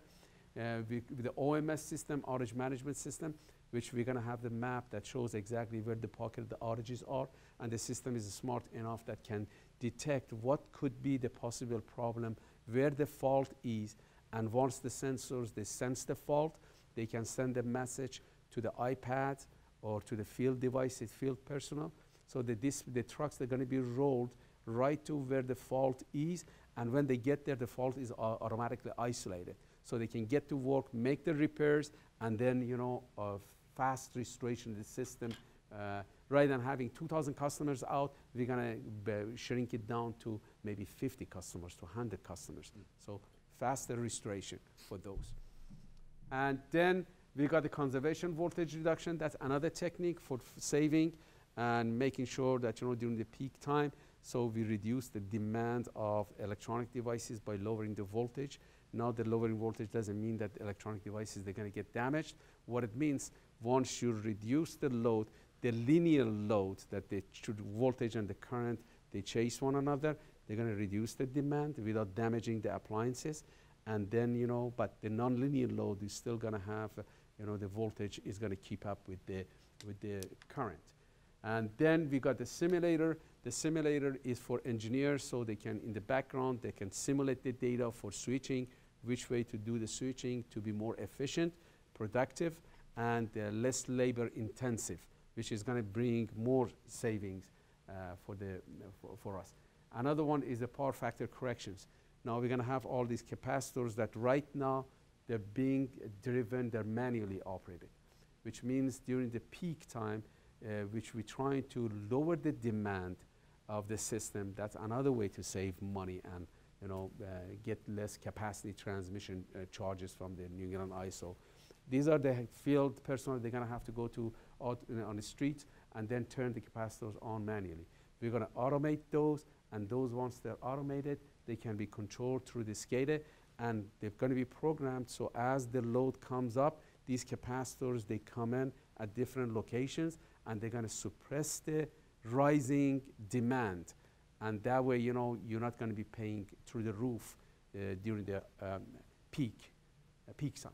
So, in a nutshell, this is what it is. The goal is for the next 10 to 20 years, bring the data from the field, more intelligent data for processing more intelligently to become efficient and more productive and bring more cost savings for the ratepayers. And this is, in a nutshell, the plan. And these are coming in pieces, and as these pieces they put together, you know, we're gonna give you report that what piece is done until this whole picture is completed. So, So you have rank ordered which ones are most important? yes, And which ones you're doing first, second, Yes, third, et yes. cetera? the, this year what we did, we upgraded the SCADA system, uh, and also we purchased the OMS system that is going to be integrated with the CIS. The reason we did that, because I wanted to have the system before we, mm, we implement the AMI system for testing, to make sure all the data from the ITRON as well as I- AMI, they both could come and be hosted in the server, and the server, the integration goes seamlessly with the OMS system. So that we, we've done, and we purchased the cybersecurity firewalls. So those are all done this year. Uh, and then as we go on for the next years, you know, we have in the budget that we spend money for the field switches, electronic devices, and we got another map which shows the location of the switches, where is the optimal location for the switches. You know, engineers, they've been working on it, and we have that completed. We pass that information on to Booth and Associate for revisiting, making sure that, you know, well, uh, we have adequate uh, switch locations, uh, get another set of eyeballs, you know, put another set of eyeballs on it, making sure we're not going overboard or we're not uh, going under, so, you know. So uh, Uh, this is being reviewed by them, and once they review, they give us the recommendations, then that's going to be the basically template for us. Yes, I do have questions. sure. Well, a lot of this is technical, and I didn't understand it, and I think probably others didn't as well. I don't know. Right. Did oh you guys? You want? Oh, you. Are, John's gonna get up and explain it now for us. but I get the high concepts. So it's it's it's outstanding that we're gonna have a smarter grid. Is the bottom line, and I think for the average person who might be watching, um, is the goal uh, that we have faster responses to outages and smarter management of incidents so that there's more reliability, or is it mostly so that we can control demand to these earlier points we were talking about this evening? The three things that I want you to take out of this meeting. Number one, this plan, he, at the end of the day, once it's implemented, it's going to minimize the duration and the frequency of the outages. So that's the top goal. That's the top goal. Okay. Rather than being out for hours, the people, you're gonna, this, they're gonna be restored unfaulted section. The section is not, it's not damaged. It's gonna be restored within seconds, Okay. rather than hours, which right now, that's what the case is. If the section is damaged, we're gonna have to roll the trucks, everything from the station all the way to the last point on, on the ci- circuit. It's go- for the safety. It's gonna have to be inspected, switching is gonna have to be done, and then the people, it takes minimum uh, 45 minutes to an hour. What, what will this cost? What you're describing here, to have it be done this way? Well, the overall cost, because we go doing it over 10 to 15 or maybe 20 years, it, it varies depending on number of switches, number of uh, uh, technologies that you use using. Mm, it could cost anywhere between 10 to 20 million. But like what I said, as you go uh, and you know the technology evolve, one of the good things about this, that we're stretching it over 10 to 20 years, is that you know well we want to make sure that you know we keep up with the technology. Technology that we're employing today, this is open architecture, so it's not nobody can call it obsolete five or 10 years from now, because it's adaptable, flexible. You can match it to anything that you know you like. I have a couple, just, a- these Sure. these are just kind of quick ones. Sure. So, to what extent right now do we have a problem with long duration and frequent and numerous outages? I thought we were pretty good and we don't have a lot of outages. No, we don't, but the system, remember, we got some maintenance issues that hasn't been addressed, like the substations and the switches and, you know, the, out in the field. We got number of maintenance and the transformers. So because it hasn't really reached that point, it doesn't matter that, it doesn't, it doesn't mean that, you know, well, we're not gonna get there. We wanna maintain the reliability. In order to maintain the reliability, you have to keep up the maintenance as well as invest in the infrastructure Got it. in order to m- make sure it, and plus, as we go right now, when we have an outage during the storms that we don't have any control over, obviously you're going to see the hours of outage. That's why you're going to see in my report in few minutes that you see the frequency of the outages, they keep going up above national or sometimes, Okay. you know, the regional average. And you know, the goal is to bring those down. And if I can restore the powers to the people within matter of seconds, I don't want them to be out for an hour. Doesn't matter even if there is one, you know. Every customer matters. I thought you would be happy that we're using the fiber loop. Yes, I, I am. Uh, that was my next question. Is, uh, are you going to need to expand any of the fundamental infrastructure to, to do this? Well, n- uh, right now, we don't have to go overboard and we don't have to expand it a- all over because we got the infrastructure right now can respond to the needs of the system. But as we have these contracts that they coming in with the Lightower and you know they're building basically they building the fiber loops for us, uh, and we choose the routes that they gotta go to the areas that you know we benefit the most as well as them.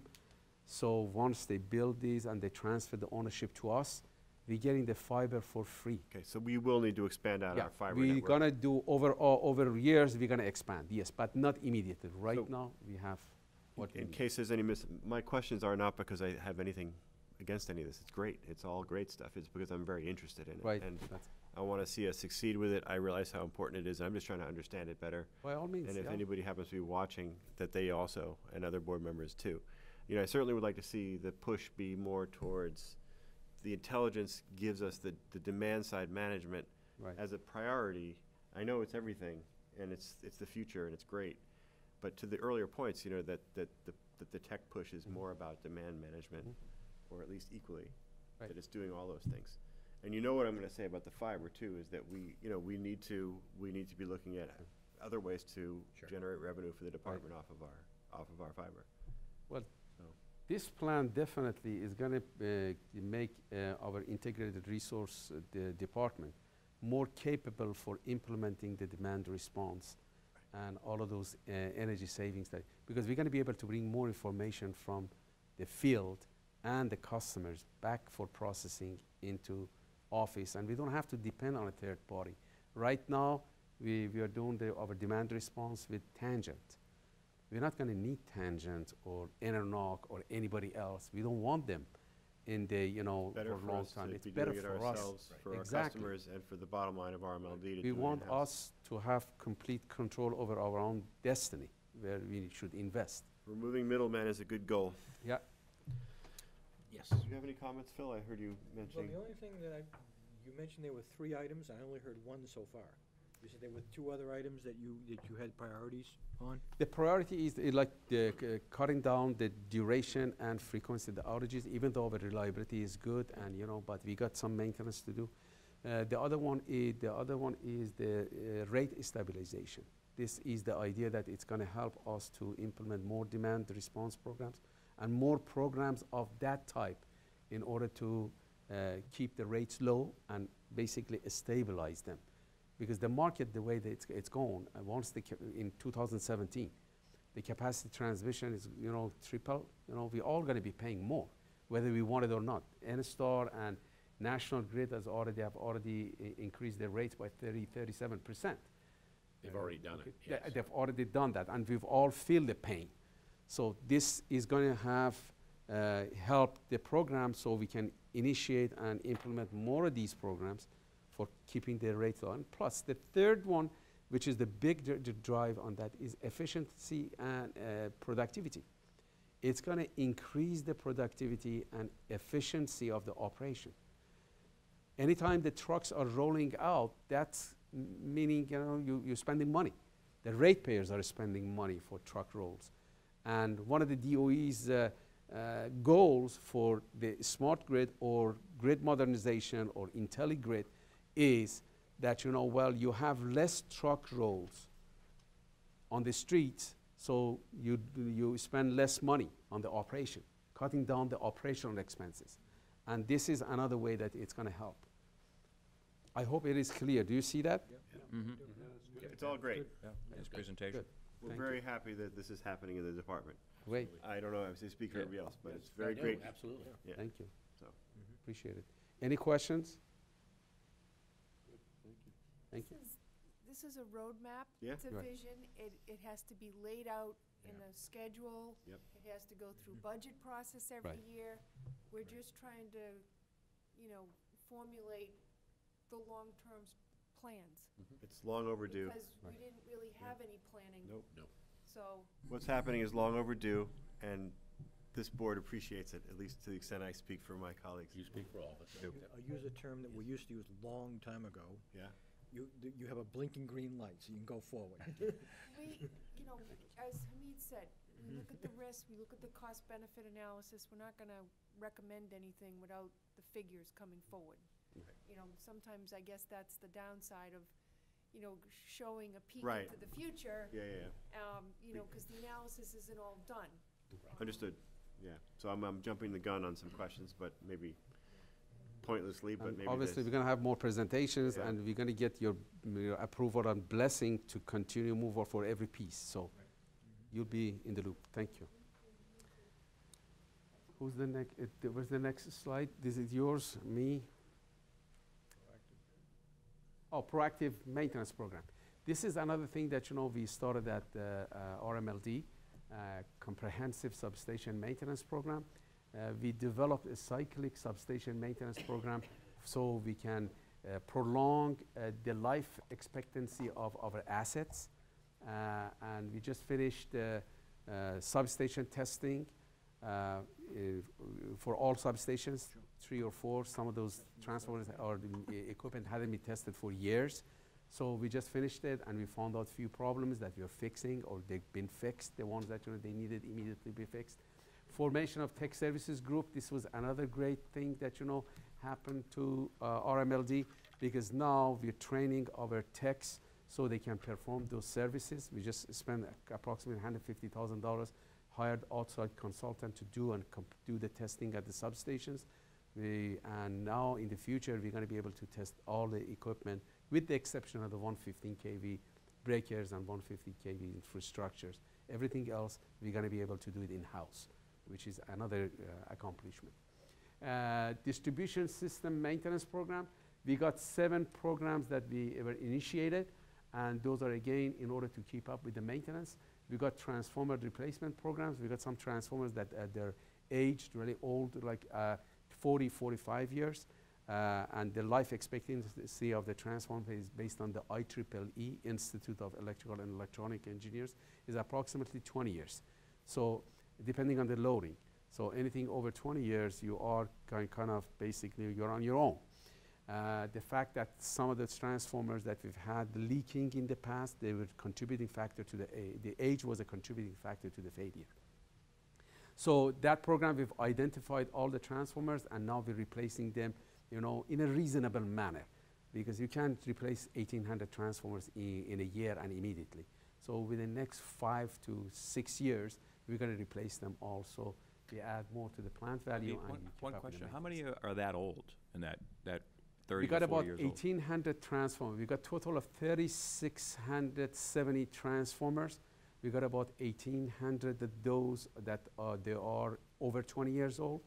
We got about 300 uh, pad mount transformers. These are the ones that, you know, they got, uh, you know, large uh, oil. Uh, and, you know, these are the ones that, you know, they usually rust in the bottom and then they start releasing. We, we've been paying close to 250, 300,000 dollars for oil cleanup. Hmm. Anytime those there is an oil release, the oil release is not uh, cheap. The operation costs you anywhere between 20 to 50,000 dollars, depending on the severity of the leak and release. So we're trying to avoid that. That's the avoided cost, and that's why we're going through this program to make sure we we become proactive rather than reactive when something happens. We got pole testing. We got approximately 6,400 poles that we own in the RMLD system in all four communities. And based on the uh, USDA uh, mandate, we're supposed to test 10% of our own poles, which means 640 poles.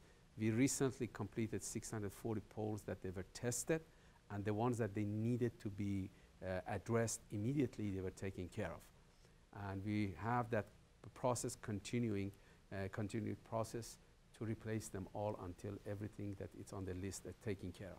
We have a manhole inspection programs. We got some manholes in downtown areas and uh, other areas in the system in the uh, U, uh, URDs, urban rural development, uh, like uh, you know the, uh, the, the, the, the underground infrastructures that we have in the various parts of the towns, uh, and these are being inspected to make sure that our assets are uh, are completely in good shape, and if there are any sign of premature failure or something that happening, we want to get to them before they actually fail. Uh, we have the tree trimming. We revamped our tree trimming program. Now we got a good program in place. We just hired a good, one of the best contractors, Mayer Tree Services, and now uh, and uh, we we we're going. We, we visited with all the towns and we gave them a presentation basically to every uh, the board members uh, that we would like to cut back from five feet. We want to increase it to seven feet because then in some areas we've been visiting twice in order to keep up with the maintenance so that the limbs they're not approaching the energized wires and causing failures. So we got a good program for that. The porcelain cutout replacements, I'm going to give you a report in a little, uh, little while. Uh, that you're going to see we got uh, almost 85% of the porcelain cutouts that they shatter anytime there is a fault. They've been replaced. We got approximately 20% more to go, and those are going to be replaced for both safety and also durability of, uh, uh, of the system. Quarterly inspection of the 13.8 kV, 35 kV feeders. This is another thing that we want to get to the areas that, you know, if there, are, there is anything going on in the system, if there is a broken spreader or something that, you know, we, we could see that vis- visually we could see could potentially lead to a failure. We want to get to it before it happens. So all the circuits in the, in the system, quarterly, we patrol them, just making sure that, you know, if there's any obvious uh, ar- areas that needs to be addressed, we address to them, being proactive again. And this is the most important part that, you know, it was initiated this year, the infrared scan of the substations and the underground facilities in the parks. And uh, uh, we've captured few problems at the substations that they've been addressed, they've been fixed, and every month our crews they go to the substations, they do that, and we compare the temperature changes And if we see that, you know, there is a trend and something needs to be addressed, we address it again before it contributes to the, to the failure. Uh, and then we got the buildings and grounds maintenance plan that for truck maintenance, and there is a study being done for the fleet study to see that you know what, what is the best way to manage our fleet. That's being done. That's in the works. That um, pretty soon getting get st- gonna get started. We also are looking for improvements to the building and uh, keeping up with the maintenance of the buildings. The HVAC system, which is pretty much uh, obsolete, and we are uh, replacing that so uh, we can we can have a sound system. Uh, and I guess that's pretty much it for the the next slide. Succession planning. You want me to continue, Colleen, or you want? Yeah, the succession planning and career development plan. This is something that Colleen started uh, when she joined RMLD, which is a great plan. Every employee in the organization now there is a career development plan for them. We want to make sure with all the good plans that we have in the future, our crews, our, uh, our, uh, our most important assets in the organizations, they have the skills necessary to carry us to the future. So everybody has a CDP, career development plan, which is the list of the skills that they need to have to be prepared for the upcoming technology, and uh, they need to meet those uh, in order to uh, to make sure that you know they, they make it to the next level. So uh, if you look at on the SharePoint, everybody has, and everybody supposed on annually they need to, need to go to see that you know what kind of skills they need to add to the set of skills that they already have, and they need to get be trained. The request for training, and that's why you see part of the budget that being presented to you, we have a line item for the training, and uh, we are we are very pro training, and that's going to actually be a cost saving for everybody, uh, and avoiding uh, the unnecessary consulting fees and stuff that you know well we How don't has like. the, uh, this been received by, by the employees? they like it pretty much because that's you know uh, that's uh, incentive for them and that's part of the employee retention plan because you know you need to they, everybody I, I myself Right, sure. I would love to learn you know if I know the organization is providing me the uh, the opportunity to learn more and to know more about technology and more that I can be more efficient and productive to do my job, you know, that's that's great. I'll stay in the organization as long as you know until I retire. so I think it's a very good plan that and the people they like it. Uh, now we've started. I guess this year alone we set up like 15 or 20 trainings, and some of them these trainings we've been getting them from uh, the manufacturers that you know uh, at a very reasonable cost that they come in and they give us the training that you know we need. Some of them you know we try to bring instructors the best in the field into RMLD we use ECNI we use NEPPA and we use the experts in the field to bring them in rather than sending some people out and you know costing us you know seven eight thousand dollars a person to send somebody we bring the instructor in and that way you know we could train 10 or 15 people so Can I add something to this?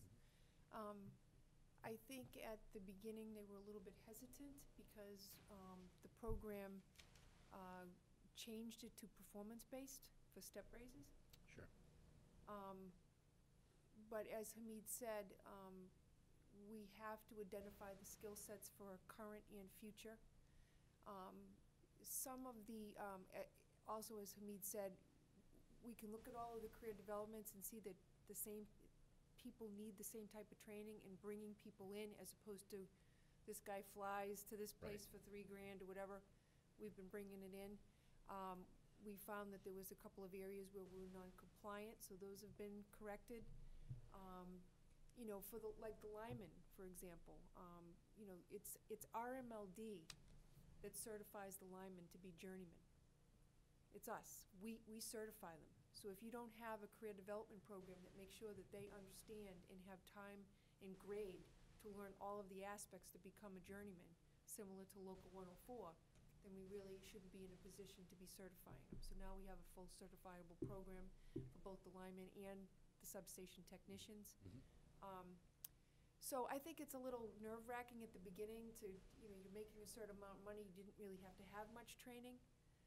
But we're doing it in such a way that is um, encouraging, and it's not uh, making any of the employees feel like, um, you know, that they don't know something. It's Right. more like, you know, you're gonna learn all of this, you're gonna be better here, you're gonna have a better skill set, and someday when you retire, you'll have more skills that you can take into your retirement. So I think from that perspective, it's been well-received. Um, It took a while, but it's. I would think it would be attractive for, uh, for uh, bringing employees in as well. I mean, it's a- certainly a benefit that you care enough about them to, to want to ensure their training, and that's part of a benefit package for, for new employees. Sure, I think they'd look for Well, that. you can use it to assess from both ways. You're using it for your existing employees, but you also use the same template. If you're hiring someone and they fill it out, now you know where on the scale of their skill sets they are. So we've been using it in, in both directions. And, um, as Hamid said, it's on the SharePoint and you check things out like a library, you check them out, and you put them back in. And when we get the dashboards fixed, we'll have a SharePoint, uh, that the, the board can have to, to be able to access a lot of this information. It's great.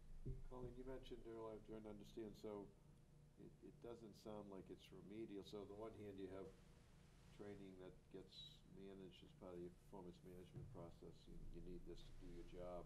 Right. If you don't address it, you'll be rated accordingly. And then this sounds more like real development, so it's, uh, you know, it's sort of empowering the employee to say, here's some skills that you could use now or in your future job. So it is a mix of that. I'm Just wondering, It's a, Is it's it- a mix, because now you have, the employee is accountable. The employee's looking and saying, you know, I wanna get that next step, so I wanna get this training done. So it might be an in-house training, it might be a number of different things. So he works with the supervisor, I have a responsibility to make sure that they get the training. So we're all working together, because we want each of the employees to succeed, we want them to be safe. Um, and that's, that's what the goal does is. it get rated in their performance reviews if they don't accomplish it, or is it not the the case? Well, they wouldn't get their next step raise. Um, If they're in middle management without step raises, we're, we're going in the direction to But there's create neg- steps. So there's no negative consequence, but it is, which I, which I think is more in line with a career plan, so they, if they, if they wanna get ahead, this is the template, and this is how you get to that next step by participating in. In certain jobs, if you don't progress at all, you, you know, you're not able to progress. Right. At least not in that place. Okay, great. Well, no, I think it's good, because I mean, the, the- the focus really, the, you know, it doesn't have to be zero or one, but some programs are very much remedial and address performance gaps, and this, this feels a little more like real career development, preparing them for the, for their future job, or, or job, so, uh, which is, I think, good, so it gives, I like the, the feel of that. Right. The way I say it to them, I say, when, when we started filling it out, I'd say, Tom, you won the lottery, so you're leaving tomorrow. So you have to put a list of all your duties that you do down, and then you're gonna correlate them into what training would I need to be able to do that? And then that's done as it becomes more complex and over the years, you know what I mean? Yep. And that's how they, they fill it out, and then we review it, um, and the managers review it. So, um, you know, and as new technologies or new, um, processes get added, we, we upgrade the, um, the career development plan. Can you train us how to do this job so that I can do a better job running the meetings and moving them along? Are you suggesting? No, I'm not, I'm not. I'm just- I'm just joking. Um, Anyway, is that, anything else on, on the, No, I, I think it's ambitious, the fact that there's a plan being implemented for each employee, that's very ambitious and commendable. And the last thing, Fair. Yeah, no, but I mean, this, I think in most companies, that's hard to, for people to uh, wanna tackle, but I think it's the right thing. Wasn't easy at the beginning, but they're all. and the last thing is that, you know, we are looking into operational policies and procedures and uh, to make sure that, you know, they're reflective of the industry best practices. And uh, those are being updated and revised as needed. So that's another way of basically to become more efficient and productive. And that, I guess, concludes, is it? Oh, okay. So what's coming next? The organizational reliability study recommendations to develop 10 to 20 a year-long plan. That's going to happen in March. Uh, I guess they're wrapping up the study. Study approximately is about 80% done. And we've been working with them closely, going back and forth to make sure that you know, they stay on the right track, they meet, the, they meet the goals of the study. And then once it's analyzed, and then once they give us the recommendations, basically, we're going to make the recommendations to the board, and everybody is going to get a chance to review what needs to be done. And uh, then we're going to put them into five-year plan every year that we submit the budget, and then we're going to implement them until we finish all the recommended uh, uh, solutions or uh, rec- recommendations that they make. Uh, Also, we need to revise the 2008 strategic plan, as Colleen said. Usually, every three to five years, these plans, they get updated. And I think it's due for uh, revision or re- to be revisited. Uh, So that's another sector that I'm sure Colleen is going to be working with the board to make sure that we get them updated. Thank you very much. You're welcome. I mean, Yeah, I just would s- Thank you. suggest, uh, we probably plan to do it uh, similar to the budget process, so when we get to the point of wanting to look at the organizational study output, it might be helpful to have some advanced materials for the board to review.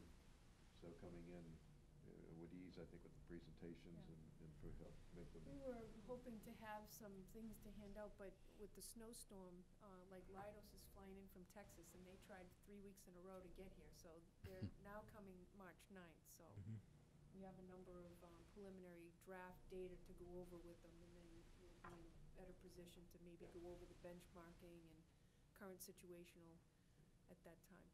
I doubt it'll snow in March. Who knows? Who knows right now? Where the price of oil is going Who down. knows? At this point in time. Well, thank you so much. Thank you. Thank you. Commissioner Thank you. Thank you. I think that's the end of mine as well.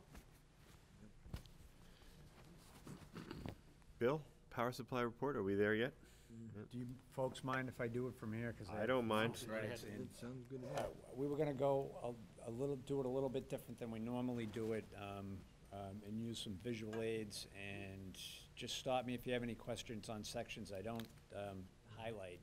Uh, mainly what I wanted to highlight on the, uh, the metered load portion, which is the, the energy first, that first paragraph where it says, uh, the metered load for the month was sixty-one million, five ninety-nine, one oh two kilowatt hours.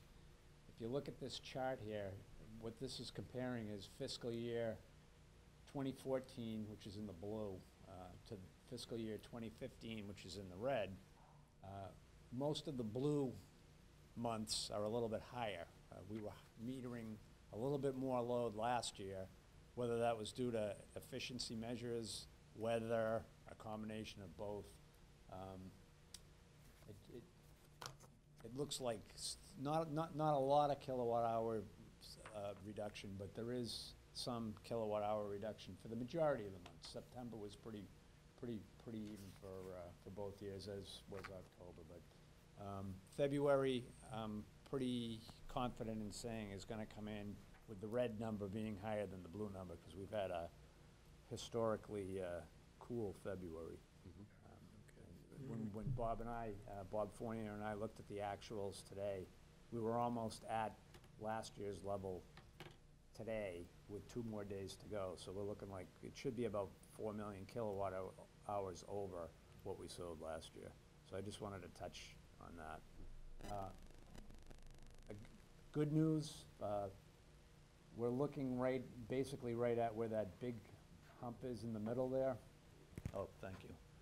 Um, That's what we had budgeted for, for uh, energy purchases for uh, the- the winter, and the actual fuel numbers are actually coming in a little bit lower. So on, on an energy side, that's, uh, that's always a good thing to, uh, to see.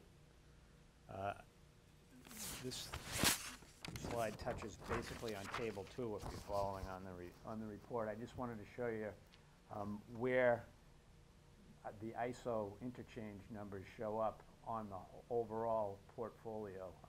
Because it basically, at any given time, that piece of the pie is what's out in the spot market. Everything else we have under contract. Um, So um, that's the, the piece of the energy part of our portfolio that would be seeing the spikes if all of a sudden we had a real bad cold snap and prices went up. Uh, So basically, in the wintertime, around fifteen percent of our portfolio is, has the ability to fluctuate. The other parts are pretty much locked in.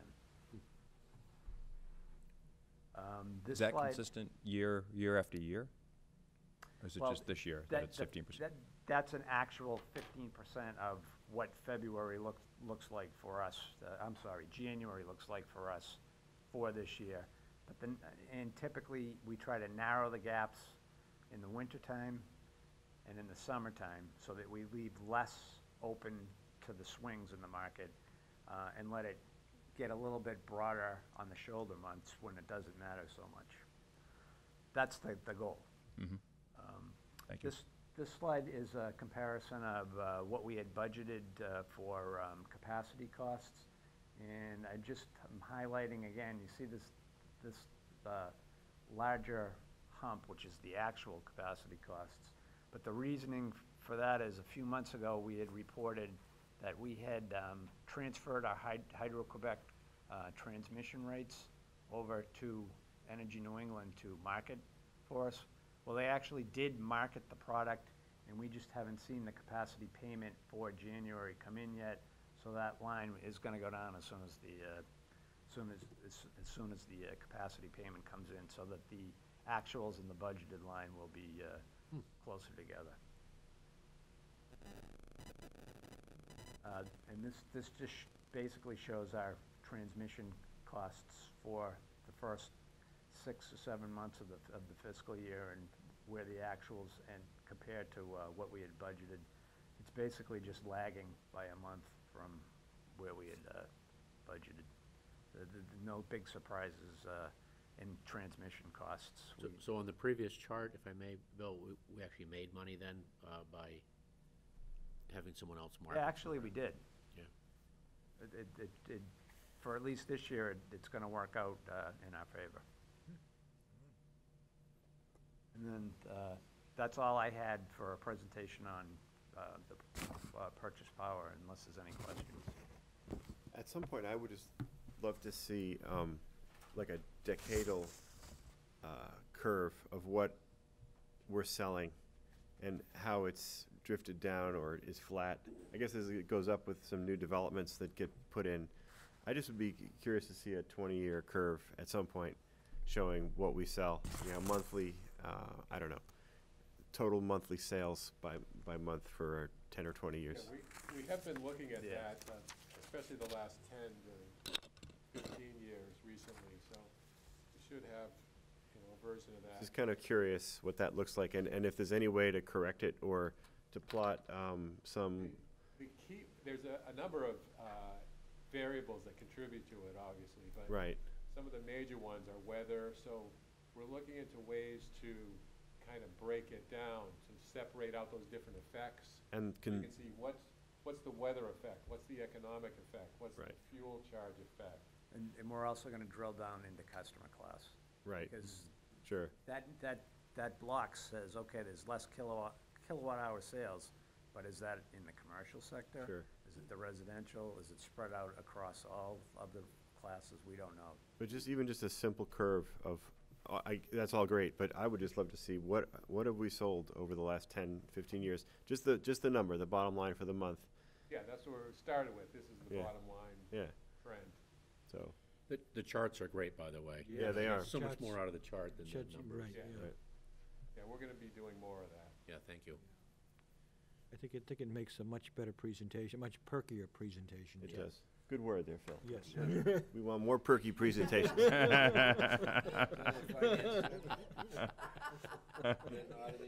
Oh, that was good, Bill, yeah. Well, somebody asked me for charts, so there you go. More charts. Now, Hamid has already given us some perkiness, but maybe there's more coming. Uh, Were you done? I'm sorry. Yeah. Do you have to, do you, Bob wants to go. Hamid's next, but Yeah, we're gonna go with Bob. either way, whatever.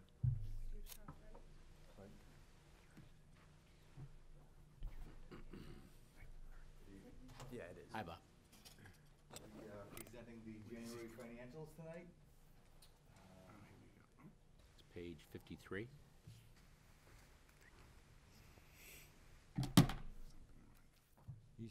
January, we had a net loss, a negative change in net assets of about two hundred thousand dollars, which decreased our net income to about two point eight million. At the same time, we had year-to-date budget net income of a little over two million, which resulted in net income being over budget by about seven hundred fifty thousand dollars or thirty-six one percent.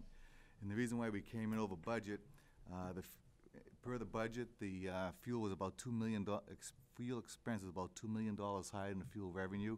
But as we all know, at the end of the year, that's a pass-through, but it's just the timing of that particular month. So, uh, the numbers look a little, a little better, uh, through the first seven. The actual year-to-date fuel revenues, however, did exceed the fuel expenses by nine hundred sixty-five thousand dollars. Um, The revenues, the year-to-date base revenues are under budget by two hundred and thirty thousand dollars, about one point seven percent. The actual base revenues came in at twelve point nine compared to the budget amount of thirteen point one. I get to use my first chart here now, too. What we have up here is, uh, we're showing the budget, which is in the blue. Uh, the reforecast number shows seven months actuals, and then five months what we're projecting out, uh, the rest of the year to look like. Uh, and as you can see, we're not gonna hit our budget numbers, but we're gonna come pretty doggone close. Um, And one of the things Colleen has implemented, uh, last several months is we have these monthly meetings where we go over the numbers. And it looks like as we project out, uh, for the rest of this fiscal year, uh, we won't hit our budgeted number right now as it stands. And There's a lot of different factors that go into that, but we'll still be making over six percent of our possible eight percent. But as we look right now, here's where we are at, uh, the seven-month, uh, level. Great. On the expenses, uh, page twelve A, on the financial report, uh, year-to-date purchase power base expense is over budget by two hundred and fifty thousand dollars, or about one and a half percent. The actual purchase power base cost came in at seventeen point one million, uh, versus the budgeted cost about sixteen point nine. On the operating and maintenance side combined, they were over budget by five thousand dollars, or less than a tenth of a percent. Uh, the actual and budget O and M expenses came in at eight point three million. On my second and last chart, uh, as you can see, the budget is in the blue, and projecting out the rest of this year too, it looks like we're gonna come pretty close to hitting our, our, uh, operating, our O and M expenses. Even though the chart doesn't show that, we had a big, uh, uh, decrease in actual expenses compared to the budget. So that big discrepancy in the month of July, even though we exceeded the budget in the succeeding months, when you flatten it out and you go through the whole twelve, uh, twelve months fiscal year, we're actually gonna come out pretty doggone close to what we had budgeted. There's still a factors for that, but as it stands right now, uh, that's how that's gonna look. So if you did something like a three-month rolling average, it would actually smooth out a lot of those, Right. those peaks and whatnot. But we have actually just picked up the budgeted numbers going forward, because we've actually been pretty doggone close. Uh, But July was uh, an anomaly. Some months can sometimes be a little weird like Right. that, but the savings we got there uh, compensated for the over budget um, in the uh, suc- succeeding months. But overall, the 12 months, we should be in good shape. That's good. Uh, On page nine, the cash position, operating fund is eleven point five million dollars. The capital fund balance is at five point eight million. Uh, rate stabilization, 6.7 million. Deferred fuel, a little over 5 million, And the energy conservation fund is at five hundred twenty-three thousand dollars. On the general information side, the year-to-date kilowatt hour sales, which are found on page five, came in at 414 million, which is about three point two seven million, uh, or about 1% behind last year's actual figures. So we are closing that gap. Uh, you can attribute that to the cold weather. Uh, good for us, but bad for, you know, bad for us, the consumer, too. But uh, we are closing that gap a little bit. On the budget variance side, cumulatively, the five division, five divisions came under budget by about $20,000 or about two-tenths of 1%. So we're in the, uh, we're in the middle of the uh, budget season, so we're, we're uh, getting the capital and the operating budgets pulled together. They're due the end of next month. Um, Again, the charts are great. Yeah. They really, really give life to this. It's really More impressive. More perkiness. More perkiness,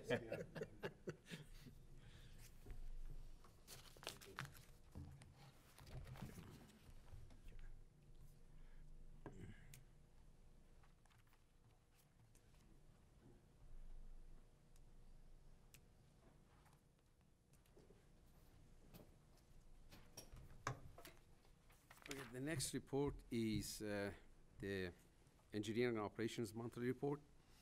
Uh, The first two pages, you see the financials for capital improvements, which in month of January spent $101,357, which brings the total year-to-date for $1,081,740. And then the maintenance programs that I explained in the uh, slides and the presentations, uh, these are basically the activities for the uh, through the month of the, to, for the January and uh, also part of it through the month of December actually. Because January was a slow month in some of the areas we couldn't really do much of the maintenance such as the transformer. So the age overloaded uh, transformer replacement through December 31st, 2014 for uh, pad mount transformers and the single phase and three phase categories, you see that you know uh, we replace approximately 11.36% for single phase, 6.41% for three phase. Uh, overhead uh, transformer replacement, the single phase 8.62%, and the three phase 3.33% replaced. The pole testing, uh, this year we tested 645 poles in 10% of the system, and then different coloring system for identification purposes we used. 390 they got received silver tag, which basically they passed the test. 233 they failed the test, which 21 of them has been replaced. The rest are being uh, reevaluated again uh, because some test data were marginal, so we're going to reevaluate them. 22 double, uh, the, the, to- to- 22 they received double red tag, which they were tagged as condemned, and they're all been replaced. Uh, these are the public safety issues. Total of 17 of the 43 transfer has, has been completed by uh, February 20th, 2015. Uh, under the, the quarterly inspection, uh, you see the list of the circuits that been inspected, and we haven't find uh, much of the problems. In some areas, we saw some vines that were found that they were uh, climbing the poles, and they they, they, they were uh, trying to reach the cutouts, and they were removed from uh, from the base of the pole. The manhole inspection is pending, obviously, during the uh, winter months. It's been really hard to reach the manholes out in the streets and on the sidewalks, so this is on hold until we get better weather conditions. Uh, porcelain cutout replacement, approximately 88% completed. We got 314 remain to go to finish the program. Uh, under the substation maintenance, the infrared scanning for that which is being done monthly, we haven't found any new issues. A few were found in earlier months, which we took, took care of that. Uh, under the substation maintenance program, we still got two breakers that need to be tested, as well as the, the bushing of the 35 kV transformer at the station four that needs to be replaced. During the testing, we found those that to be to be marginally ready to be failed, Hmm. but uh, it's holding. So uh, mm, we ordered the new parts, and these they're being replaced in April. Uh, so the next uh, part of the report is the system reliability. You see, we're using these indices uh, for the benefit of uh, David, uh, the, our new commissioner, and also Mark. Um, a system average interruption duration. These are the two indices basically we use to uh, identify how well the system uh, is doing. One, two are duration related and one is frequency related. The duration ones, they are system average interruption duration and customer average interruption duration index, and the frequency related is system average interruption frequency index. As you could see, they're all, we compare them against the national and the regional average, and they're all were pretty much for The customer average interruption duration, uh, system average interruption duration were well below the national and regional average, which means we are doing well compared to other systems in uh, duration of the outages. The system average interruption frequency index for 2014, you could see that there is a spike. Then we got to go a little bit above their regional average because we've had too many h- pole hits uh, that, you know, the, the, the, in various communities. But for the month of January, as you could see, pretty much in, uh, across the board, were doing very well. They haven't had any uh, pole hit. Obviously, the snowbanks, they've been helping, you know, they're protecting. Literally. They're helping something, right. Yeah, So they're mostly good for something. The only positive benefit. So that's why my number for system average interruption frequency is zero. you see. Impossible to hit. Uh, and system average interruption frequency and the customer average interruption frequency. Basically, we haven't had much much of the outages to report, so that's why we don't it. But those numbers they go up as we, you know, every month as we're getting closer to the uh, spring and summer and. Uh, the next page, you see the reliability report for the cause of the outages. Basically, we had a total of four outage-related uh, that they're, they're 50% were equipment related, 50% they're tree related. Uh, and the chart in bottom, bottom shows the average of the last five years, five to six years, where has been the major problem with the, the contributing factors to the outages, which 28% trees, wildlife being 4, 24%, and equipment approximately 36%. And these are the equipment that the transformers, they could either failed or uh, you, or the maybe cutouts that the porcelain cutouts that we're addressing those. So all of those maintenance related issue should cut down these the numbers for the equipment, for the trees, and hopefully uh, once we, we, we implement uh, these these are in full uh, these are the, we we get making more progress with the maintenance. You're going to see these numbers shrinking. I'm surprised about the wildlife number. What, what is that? these are the squirrels and you know the animal contact that you know well we have them uh, during the uh, spring fall and summer you know we've had lots of squirrel contact believe it or not we got animal lifeguards for the for the devices that we put them on uh, but um, somehow they managed to you know to chew them get into them Really? Wow. yeah They have their own training. yeah they have. Colleen's been providing training for the squirrels. We need to reprimand them, but uh, Oh, I have an underground pool, and if anyone has a pool, uh, You have an underground pool? uh, Oh, in-ground. In-ground, in-ground, in-ground. You can tell we're running late. The, uh, the animals, uh, over time will chew away the, uh, the PVC pipe, Yeah. whatever you have there, so unless you Yeah. put in, uh, metal piping. Apparently it happens in, uh, like the international and the oceans as well. That cable has to be protected against, uh, like sharks and other animals. Literally nine, nine on the cable. Wow. I mean, it's just, I don't know what drives them to do that, but. Better that than a leg or a. All right. any questions? No, Thank you. Thank you. Thank you, Thanks, Hamid. thank you.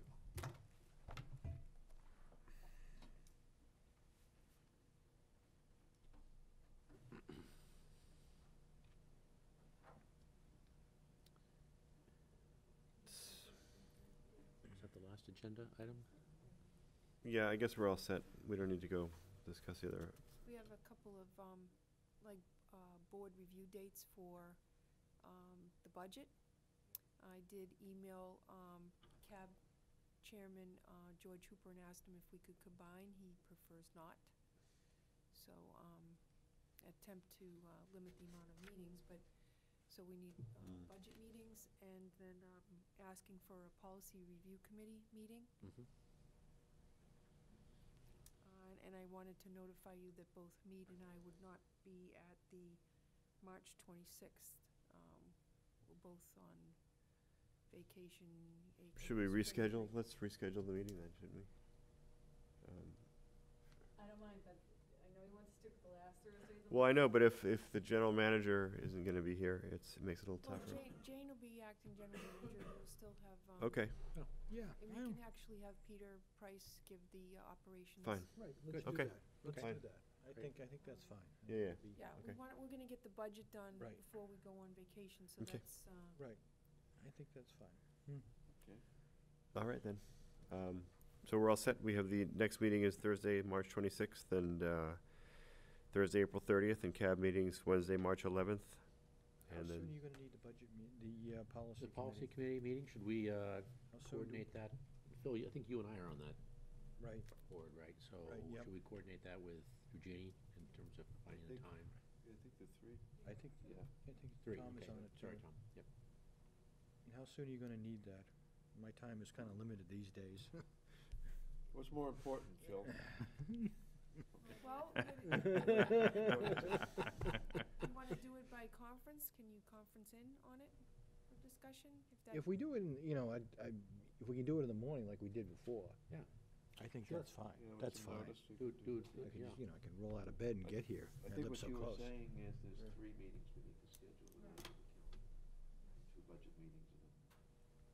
So what, what's the best process, Gene, if we gave you some dates? uh, March fifth.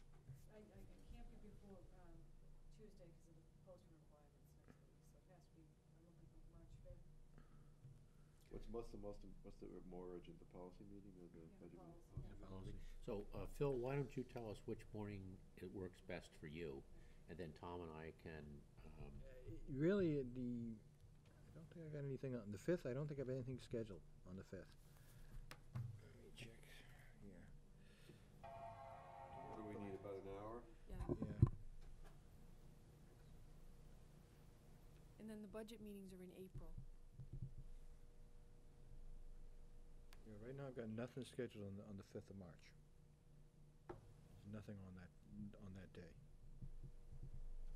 Um, Yeah, I mean, as long as it's not a several hour meeting, I'm okay. Yeah. Well, what, ti- well, what time do you, we meet early? I have a, I do have an eight thirty meeting in Woburn. You. We're gonna need an hour, so we meet at seven thirty?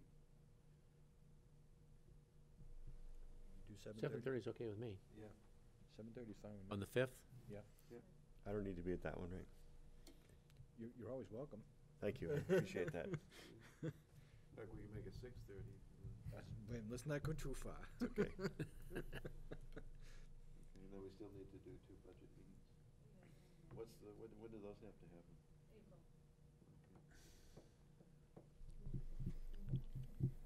Yeah, I'm fine with that. Yeah, let's do it that way. That's fine. Okay. So we're set? Good. All right, can we adjourn to go into executive session? All right. Ready for that? Yep.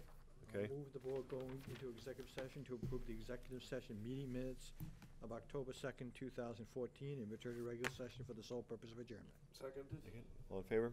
Aye. Aye. And that's Aye. Pull the board. Full the board? Uh, Ms. Pacino, aye. Ms- Mr. Talbot, aye. Mr. Stempeck, aye.